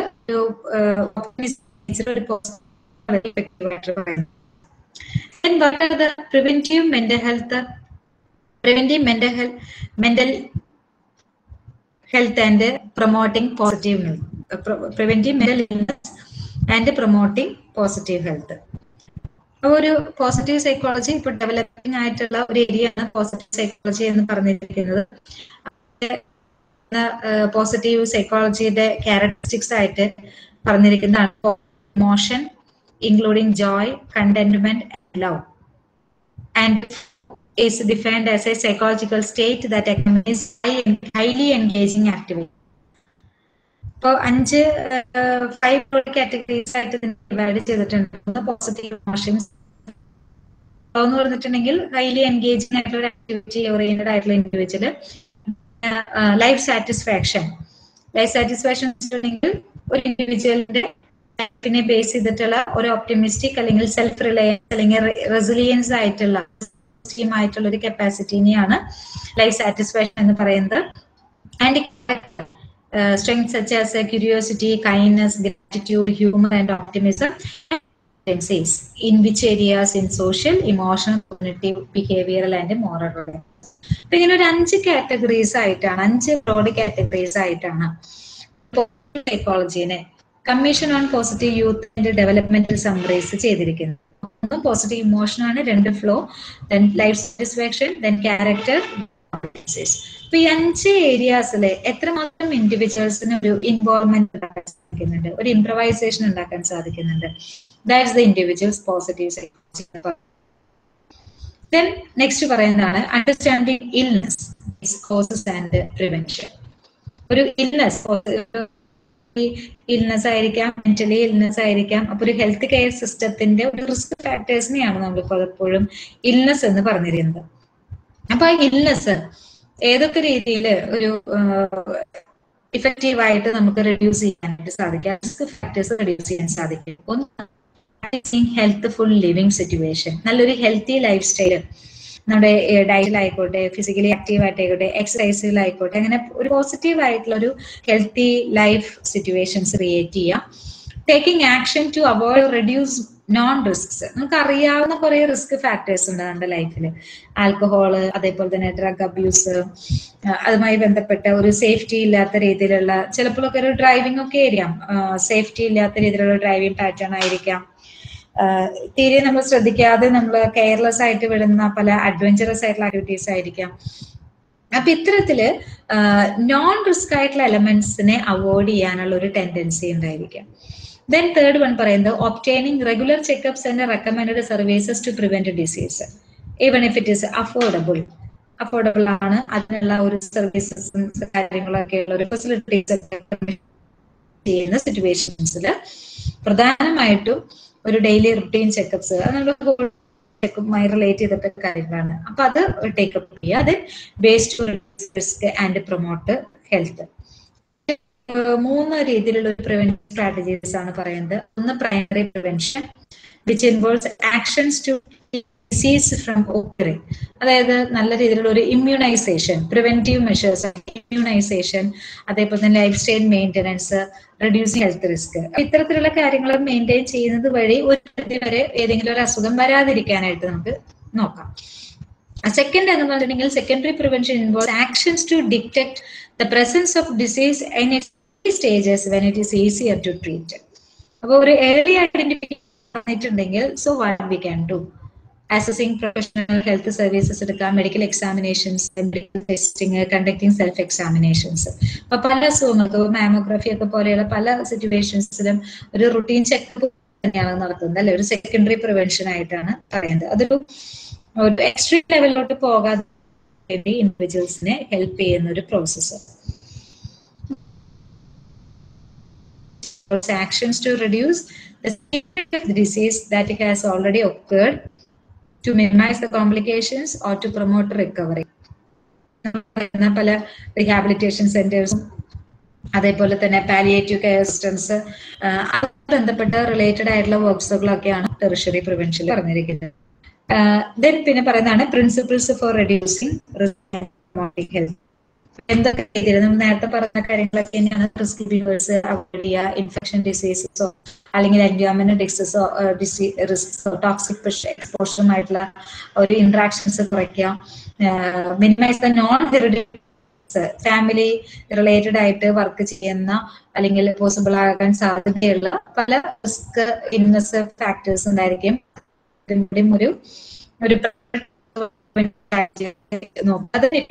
യൂസ് സിസ്റ്റംസ് ഇത്രയും ഇംപ്രൂവ് ചെയ്യുന്നത് വഴി ഒരു ഹെൽത്ത് നമുക്ക് പ്രൊമോട്ട് ചെയ്യാം then practical step for reducing and promoting ഒരു ഇത്രയും പറഞ്ഞ ഒന്നുകൂടി ഒന്ന് സമ്മറൈസ് ചെയ്യുന്നതാണ്. ഐഡന്റിഫൈ പേഴ്സണൽ റിസ്ക്സ് എന്തൊക്കെയാണെന്നുള്ളത് ഐഡന്റിഫൈ അതിൽ ഒരു ഫാമിലി ഹിസ്റ്ററി ഒക്കെ വരാം.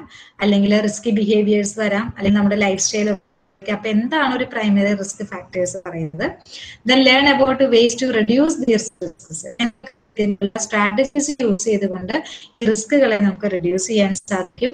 Then make a plan to improve your health and reduce a specific risks നമ്മൾ ഏതൊക്കെ രീതിയിലുള്ള ഒരു സ്ട്രാറ്റജീസ് യൂസ് ചെയ്തുകൊണ്ട് ഒരു ഷോർട്ട് ടൈം ഗോൾ സെറ്റ് ചെയ്തുകൊണ്ട് ലോങ് ടൈം ഗോൾ എങ്ങനെയാണ് നമുക്ക് ഇഫക്റ്റീവ് ആയിട്ട് ആ ഒരു സ്ട്രാറ്റജിയിലോട്ട് കൊണ്ടുപോകാൻ സാധിക്കുക? ദെൻ പ്ലാൻ ഫോർ സക്സസ് എങ്ങനെ ഏത് രീതിയിൽ ബിഹേവ് സാധിക്കും? ഒന്നാമത്തെയാണ് മോട്ടിവേറ്റിംഗ് ഓർ ഡിസ്പോസിംഗ് ഫാക്ടേഴ്സ് നമ്മളെ ഒരു ഇൻഡിവിജ്വലിന് വേണ്ടി ഒരു ഹെൽത്തി ബിഹേവിയർ മോട്ടിവേറ്റ് ചെയ്യുന്നതിന് വേണ്ടി പലപ്പോഴും നമ്മൾ യൂസ് ചെയ്യുന്ന പല ടെർമിനോളജീസ് ലൈക്ക് എക്സ്പീരിയൻസ് മുമ്പ് പല ഇൻഡിവിജ്വൽസിന് ഉണ്ടാകുന്ന എക്സ്പീരിയൻസ് ഷെയറിങ്ങിലൂടെയൊക്കെ ആയിരിക്കാം. പേഴ്സിവിഡ് ബെനിഫിറ്റ്സ് നമ്മൾ ഒരു കാര്യം ചെയ്യുന്നത് വഴി നമുക്ക് ഉണ്ടാകുന്ന ബെനിഫിറ്റ്സ് എന്തൊക്കെയാണ്? അതിന്റെ ഒരു ഓറിയന്റേഷൻ നമ്മൾ കൊണ്ടുവരിക. ദെൻ പേഴ്സീവ്ഡ് ത്രെഡ് വൺസ് ഒരു പർട്ടിക്കുലർ റിസ്ക് ബിഹേവിയർ എടുത്തിട്ടുണ്ടെങ്കിൽ what will be the result എന്തൊക്കെ ത്രെട്ടനിങ് സിറ്റുവേഷൻസ് ഉണ്ടാകാൻ സാധ്യതയുണ്ട്?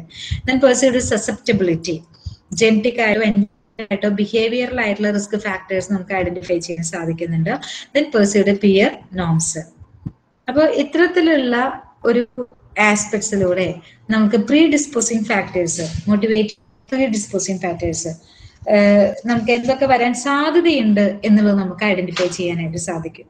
രണ്ടാമത്തത് എനേബിളിംഗ് ഫാക്ടേഴ്സ് ആണ്.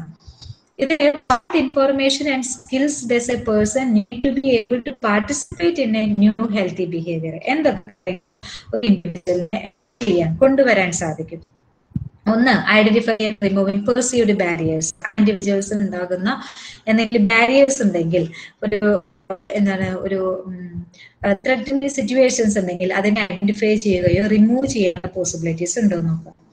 ഐഡന്റിഫൈങ് അവൈലബിൾ റിസോഴ്സസ് ഇംപ്രൂവ് ചെയ്യുന്നതിന് വേണ്ടിയിട്ടുള്ള റിസോഴ്സുകൾ എന്തൊക്കെയാണ്? Building confidence and building awareness നമ്മൾ ഏതൊരു ചെയ്യുമ്പോഴും ഒരു അവയർനെസ്സോ അല്ലെങ്കിൽ ഒരു കോൺഫിഡൻസ് ക്രിയേറ്റ് ചെയ്യുന്നതിലൂടെ ഒരു പരിധി വരെ ഹെൽത്തി റിസ്ക് ബിഹേവിയേഴ്സ് നമുക്ക് റെഡ്യൂസ് ചെയ്യാൻ സാധിക്കും. ദെൻ തേർഡ് പറയുന്നതാണ് reinforcing factors like what kind of re or rewards would help a person continue with a new healthy എന്തൊക്കെ റിവാർഡ് സിസ്റ്റംസ് കൊണ്ടുവരാൻ സാധിക്കും? ലൈക്ക് എക്സ്റ്റേണൽ റിവാർഡ്സ് ഉണ്ടായിരിക്കും ലൈക്ക് നമ്മളിപ്പോ എന്തെങ്കിലും ഇപ്പോ ചെറിയ കുട്ടികളുടെ എന്തെങ്കിലും ഇഷ്യൂസ് ഒക്കെ ആണെന്നുണ്ടെങ്കിൽ ആ കുട്ടികളെ എന്തെങ്കിലും പുതിയ കാര്യം we are some kind of rewards ചിലപ്പോൾ ഒരു സ്റ്റാറിന്റെ രൂപത്തിലായിരിക്കും ഒരു പെന്നിന്റെ രൂപത്തിലായിരിക്കും എന്തെങ്കിലും ഒരു ഒരു കമ്മോഡിറ്റി റിവാർഡ് കൊടുക്കുക. അത് external റിവാർഡാണ് for your behaviour and rewards ഉണ്ട്. ഒരു നല്ലൊരു സെൽഫ് എസ്റ്റീം ബൂസ്റ്റപ്പ് കിട്ടുക. ഒരു പ്രൈഡ് ഒരു കാര്യം അച്ചീവ് ചെയ്ത അഭിമാനം തോന്നുന്ന ഉണ്ടായിരിക്കാം. Then people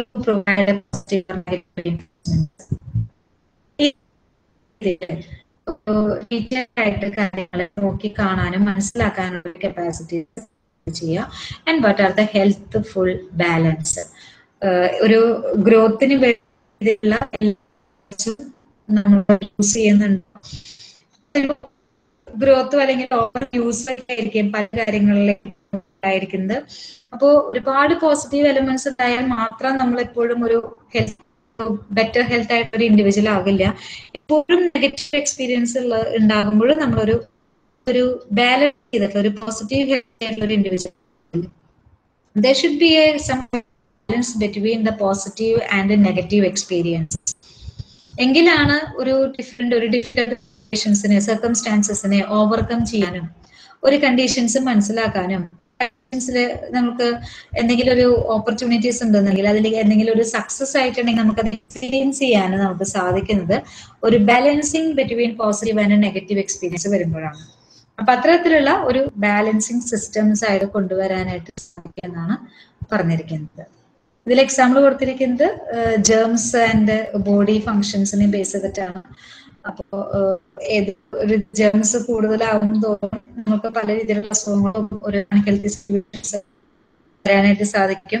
Over growth of germs can ഒക്കെ due to free or over use of antibiotics ഒരു സ്റ്റെറോയിഡ്സ് അതൊക്കെ പല പല അസുഖങ്ങളിലൊക്കെ യൂസ് ചെയ്യാം. എന്തും അധികമായിട്ടുണ്ടെങ്കിൽ പ്രോബ്ലം ആണെന്ന് പറയുന്ന പോലെ എന്തും ഒരു ലിമിറ്റഡ് സെൻസിലാണ് നമുക്ക് എടുക്കാനായിട്ട്. അപ്പോഴാണ് ഒരു ഹെൽത്തി ലൈഫ് സ്റ്റൈൽ നമുക്ക് അല്ലെങ്കിൽ ഹെൽത്തി ബാലൻസിങ് പേഴ്സണൽ ഹെൽത്ത് നമുക്ക് കൊണ്ടുവരാനായിട്ട് സാധിക്കുള്ളൂ and youth development and community അപ്പൊ യൂത്ത് ഡെവലപ്മെന്റിന് ഒരു എന്താ പറയാ ഒരു കമ്മ്യൂണിറ്റി ലെവലിൽ ഒരു ചേഞ്ചസ് ആണ് എക്സ്പെക്ട് ചെയ്യുന്നത്. അവരുടെ ലൈഫ് ലോങ് ഡെവലപ്മെന്റൽ പ്രോസസ് ആയിക്കോട്ടെ അതേപോലെ കരിയർ ചൂസ് ചെയ്യുന്ന ഒരു എഡ്യൂക്കേഷൻ സിസ്റ്റത്തിൽ വേണ്ടുന്ന ഹെൽപ്പ് പ്രൊവൈഡ് ചെയ്യുക then relationship with caring adults developing a positive life goals ഒരു നല്ലൊരു ഒരു പ്രോപ്പർ മെന്റൽ ഫങ്ഷനിങ്സ് ക്രിയേറ്റ് ചെയ്യുക. ഒരു പോസിറ്റീവ് ഫ്യൂച്ചർ എൻട്രി ചെയ്ത് കൊടുക്കാനായിട്ട് സാധിക്കുക അപ്പൊ ഒരു യൂത്തിന്റെ ഡെവലപ്മെന്റിന് മാത്രമല്ല ഒരു കമ്മ്യൂണിറ്റി ആസ് എ ഹോൾ എങ്ങനെ ഈ ഒരു പോസിറ്റീവ് സൈക്കോളജി പ്രൊവൈഡ് ചെയ്യാനായിട്ട് സാധിക്കും എന്നുള്ളതാണ് എക്സ്പ്ലെയിൻ ചെയ്തിരിക്കുന്നത്. അപ്പൊ ഒരു മൾട്ടി കൾച്ചറലിസത്തിൽ നിന്നാണ് നമ്മൾ സ്റ്റാർട്ട് ചെയ്ത്. മൾട്ടി കൾച്ചറലിസം എന്ന് പറഞ്ഞിരിക്കുന്ന appreciation acceptance or promotion of multiple cultures applied to usually at the organization level that is uh, schools business neighborhood cities or nations okay ഒരു ethnic diversity ഒരു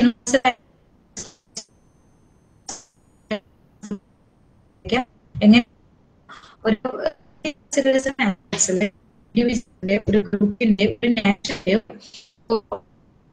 വേണ്ടിയിട്ടുള്ള ആണ് സെക്ഷൻ എടുക്കാം. നമ്മുടെ ലാസ്റ്റ് സെക്ഷനിൽ ഫസ്റ്റ് യൂണിറ്റ് ആണ് നമ്മൾ നോക്കുന്നത്. നിങ്ങളുടെ എല്ലാ നിങ്ങളുടെ കയ്യിൽ ഉണ്ടെന്ന് വിചാരിക്കുന്നു ടെക്സ്റ്റ് എന്റെ നെറ്റ് ഒന്ന് സ്ലോ ആയതുകൊണ്ട് സ്ക്രീൻ ഷെയറിങ് ഇപ്പൊ പറ്റുന്നില്ല.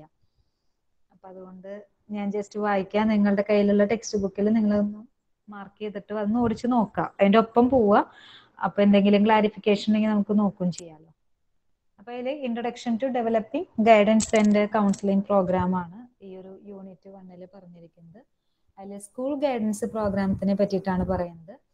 അപ്പോൾ സ്കൂൾ ലെവലിൽ ഗൈഡൻസ് ആൻഡ് കൗൺസിലിംഗ് പ്രോഗ്രാംസിന്റെ ഇംപ്ലിമെന്റേഷനും അതിന്റെ സ്ട്രക്ചറിങ് പാറ്റേൺ എങ്ങനെയാണ് and what is role of guidance and counselling functions then different components ഇങ്ങനെ ഒരു ഡീറ്റെയിൽഡ് ഫങ്ഷൻസ് ആയിട്ടാണ് ഇത് കൊടുത്തിരിക്കുന്നത്. കാരണം ഇപ്പോൾ പ്രധാനമായിട്ടും നമുക്കറിയാം ഒരു സ്കൂൾ ഗൈഡൻസ് പ്രോഗ്രാമും സ്കൂൾ കൗൺസിലിംഗ് പ്രോഗ്രാംസും വളരെ എഫക്റ്റീവ് ആയിട്ട് നടക്കുന്ന ഒരു സ്റ്റേറ്റും കൂടിയാണ്. മാൻ പവർ ഇത്തിരി കുറവുണ്ട് എന്നുള്ളത് മാത്രമാണ് നമുക്കുള്ളത്. ബട്ട് സ്റ്റിൽ കഴിഞ്ഞ കുറച്ച് വർഷങ്ങളെ കമ്പയർ ചെയ്യുമ്പോൾ ഇത്രയും കൂടി ഇഫക്റ്റീവ് ആയിട്ട് നമുക്കത് ഇമ്പ്രൂവ് ചെയ്യാനായിട്ട് സാധിക്കുന്നുണ്ട്. അപ്പൊ അതിലൊരു പ്രോപ്പർ ആയിട്ടുള്ള ഒരു പ്ലാനിങ്ങും റിസോഴ്സ് പേഴ്സൺസും മാനേജ്മെന്റ് ഓഫ് റിസോഴ്സസും അതേപോലെ തന്നെ പല രീതിയിലുള്ള ഗൈഡൻസ് സപ്പോർട്ടീവ് സിസ്റ്റംസ് ഒക്കെയാണ് ഏറ്റവും ഇമ്പോർട്ടന്റ് ആയിട്ട് വേണ്ടത്. അപ്പോൾ സ്കൂൾ ഗൈഡൻസ് പ്രോഗ്രാം എന്ന് പറഞ്ഞിട്ടുണ്ടെങ്കിൽ major role in meeting the various needs of the students കുട്ടികളാണ് അവിടെ മെയിൻ ഫോക്കസിങ് ഏരിയ എന്ന് പറഞ്ഞിരിക്കുന്നത്. ആ കുട്ടികളുടെ ഫോക്കസിങ് ഏരിയയിൽ വരുന്ന പേഴ്സണൽ ആയിട്ടുള്ളതും എഡ്യൂക്കേഷണലായിട്ടുമായ ഒരു ഇഷ്യൂസ് സോൾവ് ചെയ്തുകൊണ്ട് നല്ലൊരു കരിയർ നല്ലൊരു ഗൈഡൻസ് നല്ലൊരു എന്താ പറയുക ഒരു ഡെവലപ്പിംഗ് ഏരിയാസ് സ്ട്രാറ്റജീസ് ചെയ്ത് കൊടുക്കുക എന്നുള്ളതാണ് സ്കൂൾ ഗൈഡൻസ് പ്രോഗ്രാം കൊണ്ട് ഉദ്ദേശിക്കുന്നത്. അപ്പോൾ യുനെസ്കോ ആണ് ഈ പറഞ്ഞിരിക്കുന്ന സ്കൂൾ ഗൈഡൻസ് പ്രോഗ്രാംസിന്റെ ഒരു എസ്റ്റാബ്ലിഷിംഗ് ഇംപ്ലിമെന്റിംഗ് പാറ്റേൺ ആയിട്ട് വന്നിരിക്കുന്ന ഡെവലപ്പ് ചെയ്തിട്ടുണ്ടായിരുന്നത്. അപ്പൊ അതിലൊരു സെറ്റ് ഓഫ് ഒബ്ജക്റ്റീവ്സ് പറയുന്നുണ്ട്. കുട്ടികളുടെ എഡ്യൂക്കേഷനുമായി ബന്ധപ്പെട്ടതും അവരുടെ emotional development social development career development academic development അങ്ങനെ ഓൾ ടുഗദർ ഒരു ഹോളിസ്റ്റിക് ആയിട്ടുള്ള ലെവലിൽ ഒരു എഡ്യൂക്കേഷൻ സിസ്റ്റത്തിൽ നിന്നുകൊണ്ട് കുട്ടികൾക്ക് എന്തൊക്കെ രീതിയിൽ കാര്യങ്ങൾ അക്വയർ ചെയ്യാനും ആസ്പയർ ചെയ്യാനും സാധിക്കുന്നുണ്ട്. അതിന്റെ റെലവൻസും അവർ പറയുന്നുണ്ട്. കാരണം സ്കൂൾ സിസ്റ്റത്തിലാണ് അവർ ഏറ്റവും കൂടുതൽ ടൈം സ്പെൻഡ് ചെയ്യുന്നത്. ഒരു majority their personality pattern develop ചെയ്യുന്നത് സ്കൂൾ അറ്റ്മോസ്ഫിയറിൽ നിന്നാണ്. അതേപോലെ തന്നെ ഈ ഒരു സ്കൂൾ എഡ്യൂക്കേഷൻ കാലഘട്ടത്തിലാണ് അവർക്ക് വേണ്ടുന്ന രീതിയിലുള്ള എല്ലാ സ്കിൽസുകളും അവർ അക്വയർ ചെയ്യുന്നത്. അപ്പൊ അത്തരത്തിലുള്ള ഒരു റെലവൻസ് ഉള്ളത് കൊണ്ട് അവിടെ ഉണ്ടാകുന്ന ഏതൊരു പ്രോബ്ലംസും അവരെ പേഴ്സണൽ ആയിക്കോട്ടെ എഡ്യൂക്കേഷനിലോ കരിയർ റിലേറ്റഡ് ആയിട്ടോ എന്തൊക്കെ പ്രോബ്ലംസ് ഉണ്ടെന്നുണ്ടെങ്കിലും അത് അവിടെ തന്നെ സോൾവ് ചെയ്ത് പോകുക അതിനെ ഗൈഡ് ചെയ്യുക ഒരു നല്ല രീതിയിൽ ഇഫക്റ്റീവ് മാനറിൽ അതിനെ പ്രൊമോട്ട് ചെയ്യുക. അങ്ങനെയുള്ള ഒരുപാട് അജണ്ടാസിന്റെ ഭാഗമായിട്ടാണ് സ്കൂൾ ഗൈഡൻസ് പ്രോഗ്രാം ഇംപ്ലിമെന്റഡ് ആയിട്ടുള്ളത്. Then there are different structured and unstructured guidance and counselling programmes ഉണ്ട്. അപ്പോൾ ഒരു ഇന്ത്യയിൽ സംബന്ധിച്ചിടത്തോളം രണ്ട് ഡിസ്റ്റിങ് വ്യൂ പോയിന്റിൽ ആണ് ഈ പറഞ്ഞിരിക്കുന്ന സ്ട്രക്ചേർഡ് അല്ലെങ്കിൽ അൺസ്ട്രക്ചേർഡ് ഗൈഡൻസ് പ്രോഗ്രാംസ് ഒക്കെ കണ്ടക്ട് ചെയ്യുന്നത്. വ്യത്യാസം ഇത്രയാണുള്ളത് ചിലതിൽ ഒരു പ്രൊഫഷണലി ട്രെയിൻഡ് ആയിട്ടുള്ള ഒരു ഗൈഡൻസ് പ്രൊഫഷണൽസ് ആയിരിക്കും. അല്ലെങ്കിൽ ചിലതിൽ ടീച്ചേഴ്സോ അല്ലെങ്കിൽ അതുമായി ബന്ധപ്പെട്ട ആൾക്കാരെ ആയിരിക്കും അവിടെ പ്രൊവൈഡ് ചെയ്യുക. In the unstructured programme the entire teaching family parents students are involved in the guidance activities and responsibility of the guidance programme is less on the school counsellor okay അപ്പൊ അതൊരു അൺസ്ട്രക്ചേർഡ് പ്രോഗ്രാമാണ് നമുക്ക് ഒരുപാട് ആൾക്കാർ ഒരു സിറ്റുവേഷനിൽ വരുമ്പോൾ ഒരു ഹെൽപ്പ് ചെയ്യാനും കാര്യങ്ങളൊക്കെ ട്രെയിനിങ് ചെയ്ത് പ്രൊവൈഡ് ചെയ്യാനുള്ള ഒരു possibility but in the structured programme a professionally trained counsellor carries out the guidance functions with the assistance of career teachers subject teachers parents and community agencies okay അതാണ് structured പ്രോഗ്രാമും അതിനൊരു structured എന്ന് പറയുമ്പോൾ അതിനൊരു professionalism വരുന്നുണ്ട്. Unstructured എന്ന് പറയുമ്പോൾ ഒരു സ്കാറ്റേഡ് ആയിട്ട് കിടക്കുന്ന കുറെ ആൾക്കാരുടെ ഒരു കൂട്ടായ്മ. അതിൽ പ്രൊഫഷണലി ട്രെയിൻഡ് ആയിട്ടുള്ള ഇൻഡിവിജ്വൽസ് അവൈലബിൾ ആണ് എങ്കിൽ അവരുടെ ഹെൽപ്പോട് കൂടിയിട്ട് നടത്തുക എന്നുള്ളതാണ്. Why need the guidance and counselling programme ഒന്ന് എഡ്യൂക്കേഷൻ ഗൈഡൻസിന്റെ ആസ്പെക്റ്റിലാണ് ഒരു കുട്ടിയുടെ അക്കാഡമിക് റിലേറ്റഡ് ആയിട്ട് അല്ലെങ്കിൽ ഒരു കോഴ്സ് ഓഫ് സ്റ്റഡിയുടെ ഭാഗമായിട്ടുണ്ടാകുന്ന ലേണിംഗ് ഡിഫിക്കൽട്ടീസോ അവരെ ക്രിയേറ്റിവിറ്റി ഫോസ്റ്റർ ചെയ്യുന്നതിന് വേണ്ടിയിട്ടോ അവരെ മോട്ടിവേഷൻ ഇംപ്രൂവ് ചെയ്യുന്നതിന് വേണ്ടിയിട്ടോ ഏതെങ്കിലും രീതിയിലുള്ള ഒരു ഡെവലപ്മെന്റൽ ആസ്പെക്ട്സ് അക്കാഡമിക് ഡെവലപ്മെന്റൽ തിങ്സിൽ ലാക്ക് ഒരു വരുന്നുണ്ടെങ്കിൽ അതിനെയൊക്കെ മീറ്റ് ചെയ്യുക അതിനെയൊക്കെ കൂടുതൽ പ്രൊമോട്ട് ചെയ്യുക എന്നുള്ളതിന്റെ അടിസ്ഥാനത്തിൽ ഒരു എഡ്യൂക്കേഷൻ ഗൈഡൻസ് നീഡായിട്ടാണ് ഈ പറഞ്ഞിരിക്കുന്ന guidance and counselling programme implement ചെയ്തിട്ടുള്ളത്. രണ്ട് vocational guidance നീഡാണ് for the selection of the vocation and preparation for the same അപ്പോൾ ഒരു കരിയർ ചൂസ് ചെയ്യാനും കരിയർ ഓപ്പർച്യൂണിറ്റീസിനെ ബേസ് ചെയ്തിട്ടുള്ള കാര്യങ്ങൾ ഇൻഫോർമേഷൻസ് പ്രൊവൈഡ് ചെയ്യുക career growth education and training facilities ഒക്കെ പ്രൊവൈഡ് ചെയ്തുകൊണ്ട് ഒരു വൊക്കേഷൻ ഇംപ്ലിമെന്റ് ചെയ്യുക. ദെൻ തേർഡ് പറയുന്നത് personal social and emotional guidance നേടാണ് ഒരു എഡ്യൂക്കേഷൻ സിസ്റ്റത്തിൽ ഒരു സ്കൂൾ സിസ്റ്റത്തിൽ കുട്ടികളുടെ അക്കാഡമിക്സ് മാത്രമല്ല നമ്മളോട് ഫോക്കസ് ചെയ്യുന്നത്. മറിച്ച് എന്തൊക്കെയാണ് അവരുടെ പേഴ്സണൽ ആയിട്ടുള്ള ഇഷ്യൂസ് ഉണ്ടായിരിക്കും സൊസൈറ്റി റിലേറ്റഡ് ആയിട്ടുള്ള ഇഷ്യൂസ് ഉണ്ടായിരിക്കും. Norms rules values moral moralities ഇങ്ങനെ ഒരുപാട് ഫങ്ഷൻസ് റിലേറ്റഡ് ആയിട്ടുള്ള കാര്യങ്ങൾ കുട്ടികൾക്ക് ആ ഒരു ഓൺ ദ ടൈം അവിടെ ഗൈഡൻസ് കൊടുക്കേണ്ടതായിട്ടുണ്ട്. അപ്പൊ ഇത്രയും കാര്യങ്ങൾ കൊണ്ടാണ് there is a need for guidance and counselling എന്ന് പറയാൻ കാരണം. Then what are the role of guidance and counselling functionaries ആ ഒരു ട്രെയിൻഡ് പ്രൊഫഷണൽസിന്റെ റോൾ എന്തൊക്കെയാണെന്നുള്ളതാണ്. അപ്പോൾ ഒരു എഡ്യൂക്കേഷണൽ ആസ്പെക്ട്സിലും വൊക്കേഷണൽ ആസ്പെക്ട്സിലും പേഴ്സണൽ സോഷ്യൽ ആൻഡ് ഇമോഷണൽ ആസ്പെക്ട്സിലുള്ള റോളുകളായിട്ടാണ് ഡിഫറൻഷിയേറ്റ് ചെയ്തിരിക്കുന്നത്. ഒന്നാമത്തത് എഡ്യൂക്കേഷണൽ റോൾ എന്തൊക്കെയാണ്? ഒന്ന് interpreting the education programmes to the parents and the community പലപ്പോഴും ഒരു എഡ്യൂക്കേഷൻ സിസ്റ്റം എന്തിനാണ് എഡ്യൂക്കേഷൻ എന്തിനാണ് ഒരു സ്കൂൾ സിസ്റ്റം എന്നൊക്കെ പറയുമ്പോൾ ചില ഫാമിലീസ് ചില പാരന്റ്സ് ചില കമ്മ്യൂണിറ്റിയിൽ ചില എത്തനിക് ഗ്രൂപ്പ്സിലുള്ള ഇൻഡിവിജ്വൽസിന് അത് പെട്ടെന്ന് ഐഡന്റിഫൈ ചെയ്യാനും അതിന്റെ റെലവൻസ് മനസ്സിലാക്കി അറിയണം എന്നില്ല അപ്പൊ അത്തരത്തിലുള്ള ഒരു ഇന്റർപ്രിറ്റ് അല്ലെങ്കിൽ അത്തരത്തിലുള്ള ഒരു ഇൻഫോർമേഷൻസ് പ്രൊവൈഡ് ചെയ്യുന്നതിന്. Then helping parents to understand the abilities and interest of the children and the education opportunities available ഇപ്പൊ പലപ്പോഴും ഒരു എഡ്യൂക്കേഷൻ സിസ്റ്റത്തിൽ ഉണ്ടാകുന്ന ഒരു അച്ചീവ്മെന്റ് കണ്ടിട്ടായിരിക്കും പാരന്റ്സ് പോലും തിരിച്ചറിയുക ഇത്രയും എബിലിറ്റി ഉള്ള ഒരു കുട്ടിയാണല്ലോ എന്നുള്ളത്. അപ്പൊ അത്തരത്തിലുള്ള ഒരു ഇൻഫോർമേഷൻസ് ഒരു അണ്ടർസ്റ്റാൻഡിങ്സ് ഒക്കെ ക്രിയേറ്റ് ചെയ്യുന്നതിന് വേണ്ടി then providing assistance to children in the choice of elective subjects. That is academic അല്ലെങ്കിൽ വൊക്കേഷണൽ കോഴ്സുകളൊക്കെ സെലക്ട് ചെയ്യുന്നതിന് വേണ്ടിയിട്ട് കുട്ടികളെ ഹെൽപ്പ് ചെയ്യുക. Then maintenance of records of the students അത് ക്യുമുലേറ്റീവ് സി ആർ സി നമ്മൾ ക്യുമുലേറ്റീവ് റെക്കോർഡ്സ് അവരുടെ അക്കാഡമിക് ആയിട്ടുള്ള അച്ചീവ്മെന്റ്സ് അവർ കൂടുതലായിട്ട് ആക്റ്റീവ് ആക്കുന്നതിന് വേണ്ടി അതിന് വേണ്ടിയിട്ടുള്ള ഒരു റെക്കോർഡ് സിസ്റ്റം പ്രൊമോട്ട് ചെയ്യുക. ദെൻ കുട്ടികളുടെ ഐഡിയാസും പൊട്ടൻഷ്യൽസും ഒക്കെ എക്സ്പ്ലോർ ചെയ്യുന്നതിന് വേണ്ടിയിട്ടുള്ള ക്ലബ്സുകൾ സ്റ്റുഡന്റ് ഹൗസുകൾ പല രീതിയിലുള്ള പ്രോഗ്രാംസുകളൊക്കെ സ്റ്റാർട്ട് ചെയ്യാം. കോ കരിക്കുലർ ആയിട്ടും എക്സ്ട്രാ കരിക്കുലർ ആയിട്ടുമായിട്ടുള്ള ആക്ടിവിറ്റീസിൽ ഇൻവോൾവ് ചെയ്യിപ്പിക്കുന്നതിന് വേണ്ടി. കുട്ടികളുടെ അക്കാഡമി പ്രോസസ്സ് അപ്ഗ്രേഡ് ചെയ്ത് പാരന്റ്സിനും അല്ലെങ്കിൽ അവരുടെ ഒരു റിലേറ്റഡ് ആയിട്ടുള്ള ഇൻഡിവിജ്വൽസിന് കൊണ്ടുകൊടുക്കുന്നതിന് വേണ്ടി. ഏതെങ്കിലും രീതിയിലുള്ള ഒരു ലേണിംഗ് ഡിഫിക്കൽട്ടീസ് ഉള്ള കുട്ടികൾ ഉണ്ടെന്നുണ്ടെങ്കിൽ ഐഡന്റിഫൈ ചെയ്യുന്നതിന് വേണ്ടി. ഏറ്റവും നല്ലൊരു റെമഡികൾ ടീച്ചിങ് പ്രോസസ്സ് ഡയഗ്നോസ് ചെയ്യുന്നതിന് വേണ്ടി. ഗിഫ്റ്റഡ് ആയിട്ടുള്ള അല്ലെങ്കിൽ സ്പെഷ്യലി നീഡ് ആയിട്ടുള്ള കുട്ടികളെ തന്നെ ഐഡന്റിഫൈ ചെയ്യുന്നതിന് വേണ്ടി. ഏറ്റവും നല്ല രീതിയിൽ ഒരു സ്കൂൾ സബ്ജക്ട്സുമായിട്ട് സ്കൂൾ അറ്റ്മോസ്ഫിയറുമായിട്ട് അഡ്ജസ്റ്റ് ചെയ്യുന്നതിന് വേണ്ടിയിട്ട് വേണ്ടി. Conducting follow up school pass outs അപ്പൊ ഒരു കുട്ടിയുടെ ഒരു എഡ്യൂക്കേഷണൽ റോളുമായി ബന്ധപ്പെട്ട് ഇത്രയും അല്ലെങ്കിൽ ഇതിനും കൂടുതലായിട്ടുള്ള കാര്യങ്ങൾക്ക് വേണ്ടി വി നീഡ് അല്ലെങ്കിൽ അതൊക്കെയാണ് ഒരു ഗൈഡൻസ് ആൻഡ് കൗൺസിലിംഗ് ഫ്രോണ്ടിയേഴ്സിന്റെ റോൾ ആയിട്ട് പറയുന്നത്. ആൻഡ് വൊക്കേഷണൽ റോൾസ് എന്താണെന്നുള്ളതാണ്. വൊക്കേഷണൽ റോൾസ് എന്ന് പറയുമ്പോൾ ഒരു കരിയർ അല്ലെങ്കിൽ ഒരു ഓറിയന്റേഷൻ പ്രോഗ്രാംസുകളൊക്കെ വഴി കുട്ടികൾക്ക് ഇന്ന കരിയർ ഓപ്പർച്യൂണിറ്റീസ് ഉണ്ട് എന്നുള്ളതും അതുമായി ബന്ധപ്പെട്ട ഫീൽഡ് വർക്കുകൾ എക്സിബിഷൻസ് അങ്ങനെയുള്ള കാര്യങ്ങളൊക്കെ ഓറിയന്റേഷൻസ് ഒക്കെ കൊടുക്കുന്നത് വഴി കുട്ടികൾക്ക് തന്നെ ഇത്തരത്തിലുള്ള വർക്ക് പോസിബിൾ ആണെന്നും അതേപോലെ തന്നെ അവർക്ക് അതിൽ വർക്ക് ചെയ്യാൻ സാധിക്കും എന്നുള്ള ഒരു കോൺഫിഡൻഷ്യാലിറ്റി ഒക്കെ പ്രൊവൈഡ് ചെയ്യുക. ദെൻ പിന്നെ പറഞ്ഞിരിക്കുന്നതാണ് ഒക്യുപേഷണൽ ഇൻഫോർമേഷൻസ് പ്രൊവൈഡ് ചെയ്യുക. അതേപോലെ തന്നെ psychological ടെസ്റ്റുകളായിട്ടുള്ള achievement test ability attitude personality inventories personality ഒക്കെ അസസ് ചെയ്യുന്നതിന് വേണ്ടിയിട്ട് നമുക്ക് നോക്കാം. Then assisting students in changing academic options എന്തെങ്കിലും ഒരു അക്കാഡമിക് ഓപ്ഷൻസ് ഒക്കെ ഇപ്പോൾ ചിലർക്ക് മെക്കാനിക്കൽ ആയിരിക്കാം ചിലർക്ക് ക്ലിനിക്കൽ ആപ്റ്റിറ്റ്യൂഡ് ആയിരിക്കാം. അപ്പൊ ആ ഒരു പർട്ടിക്കുലർ ഡയമെൻഷന് ശേഷം ഏതാണ് അവർക്ക് ഇത്രയും കൂടി ഇഫക്റ്റീവ് ആയിട്ടുള്ളത്? അതിനെ പ്രൊമോട്ട് ചെയ്യുന്നതിന് വേണ്ടിയിട്ടുള്ള ഒരു ഇൻഫർമേഷൻസ് ഒക്കെ പ്രൊവൈഡ് ചെയ്യാം.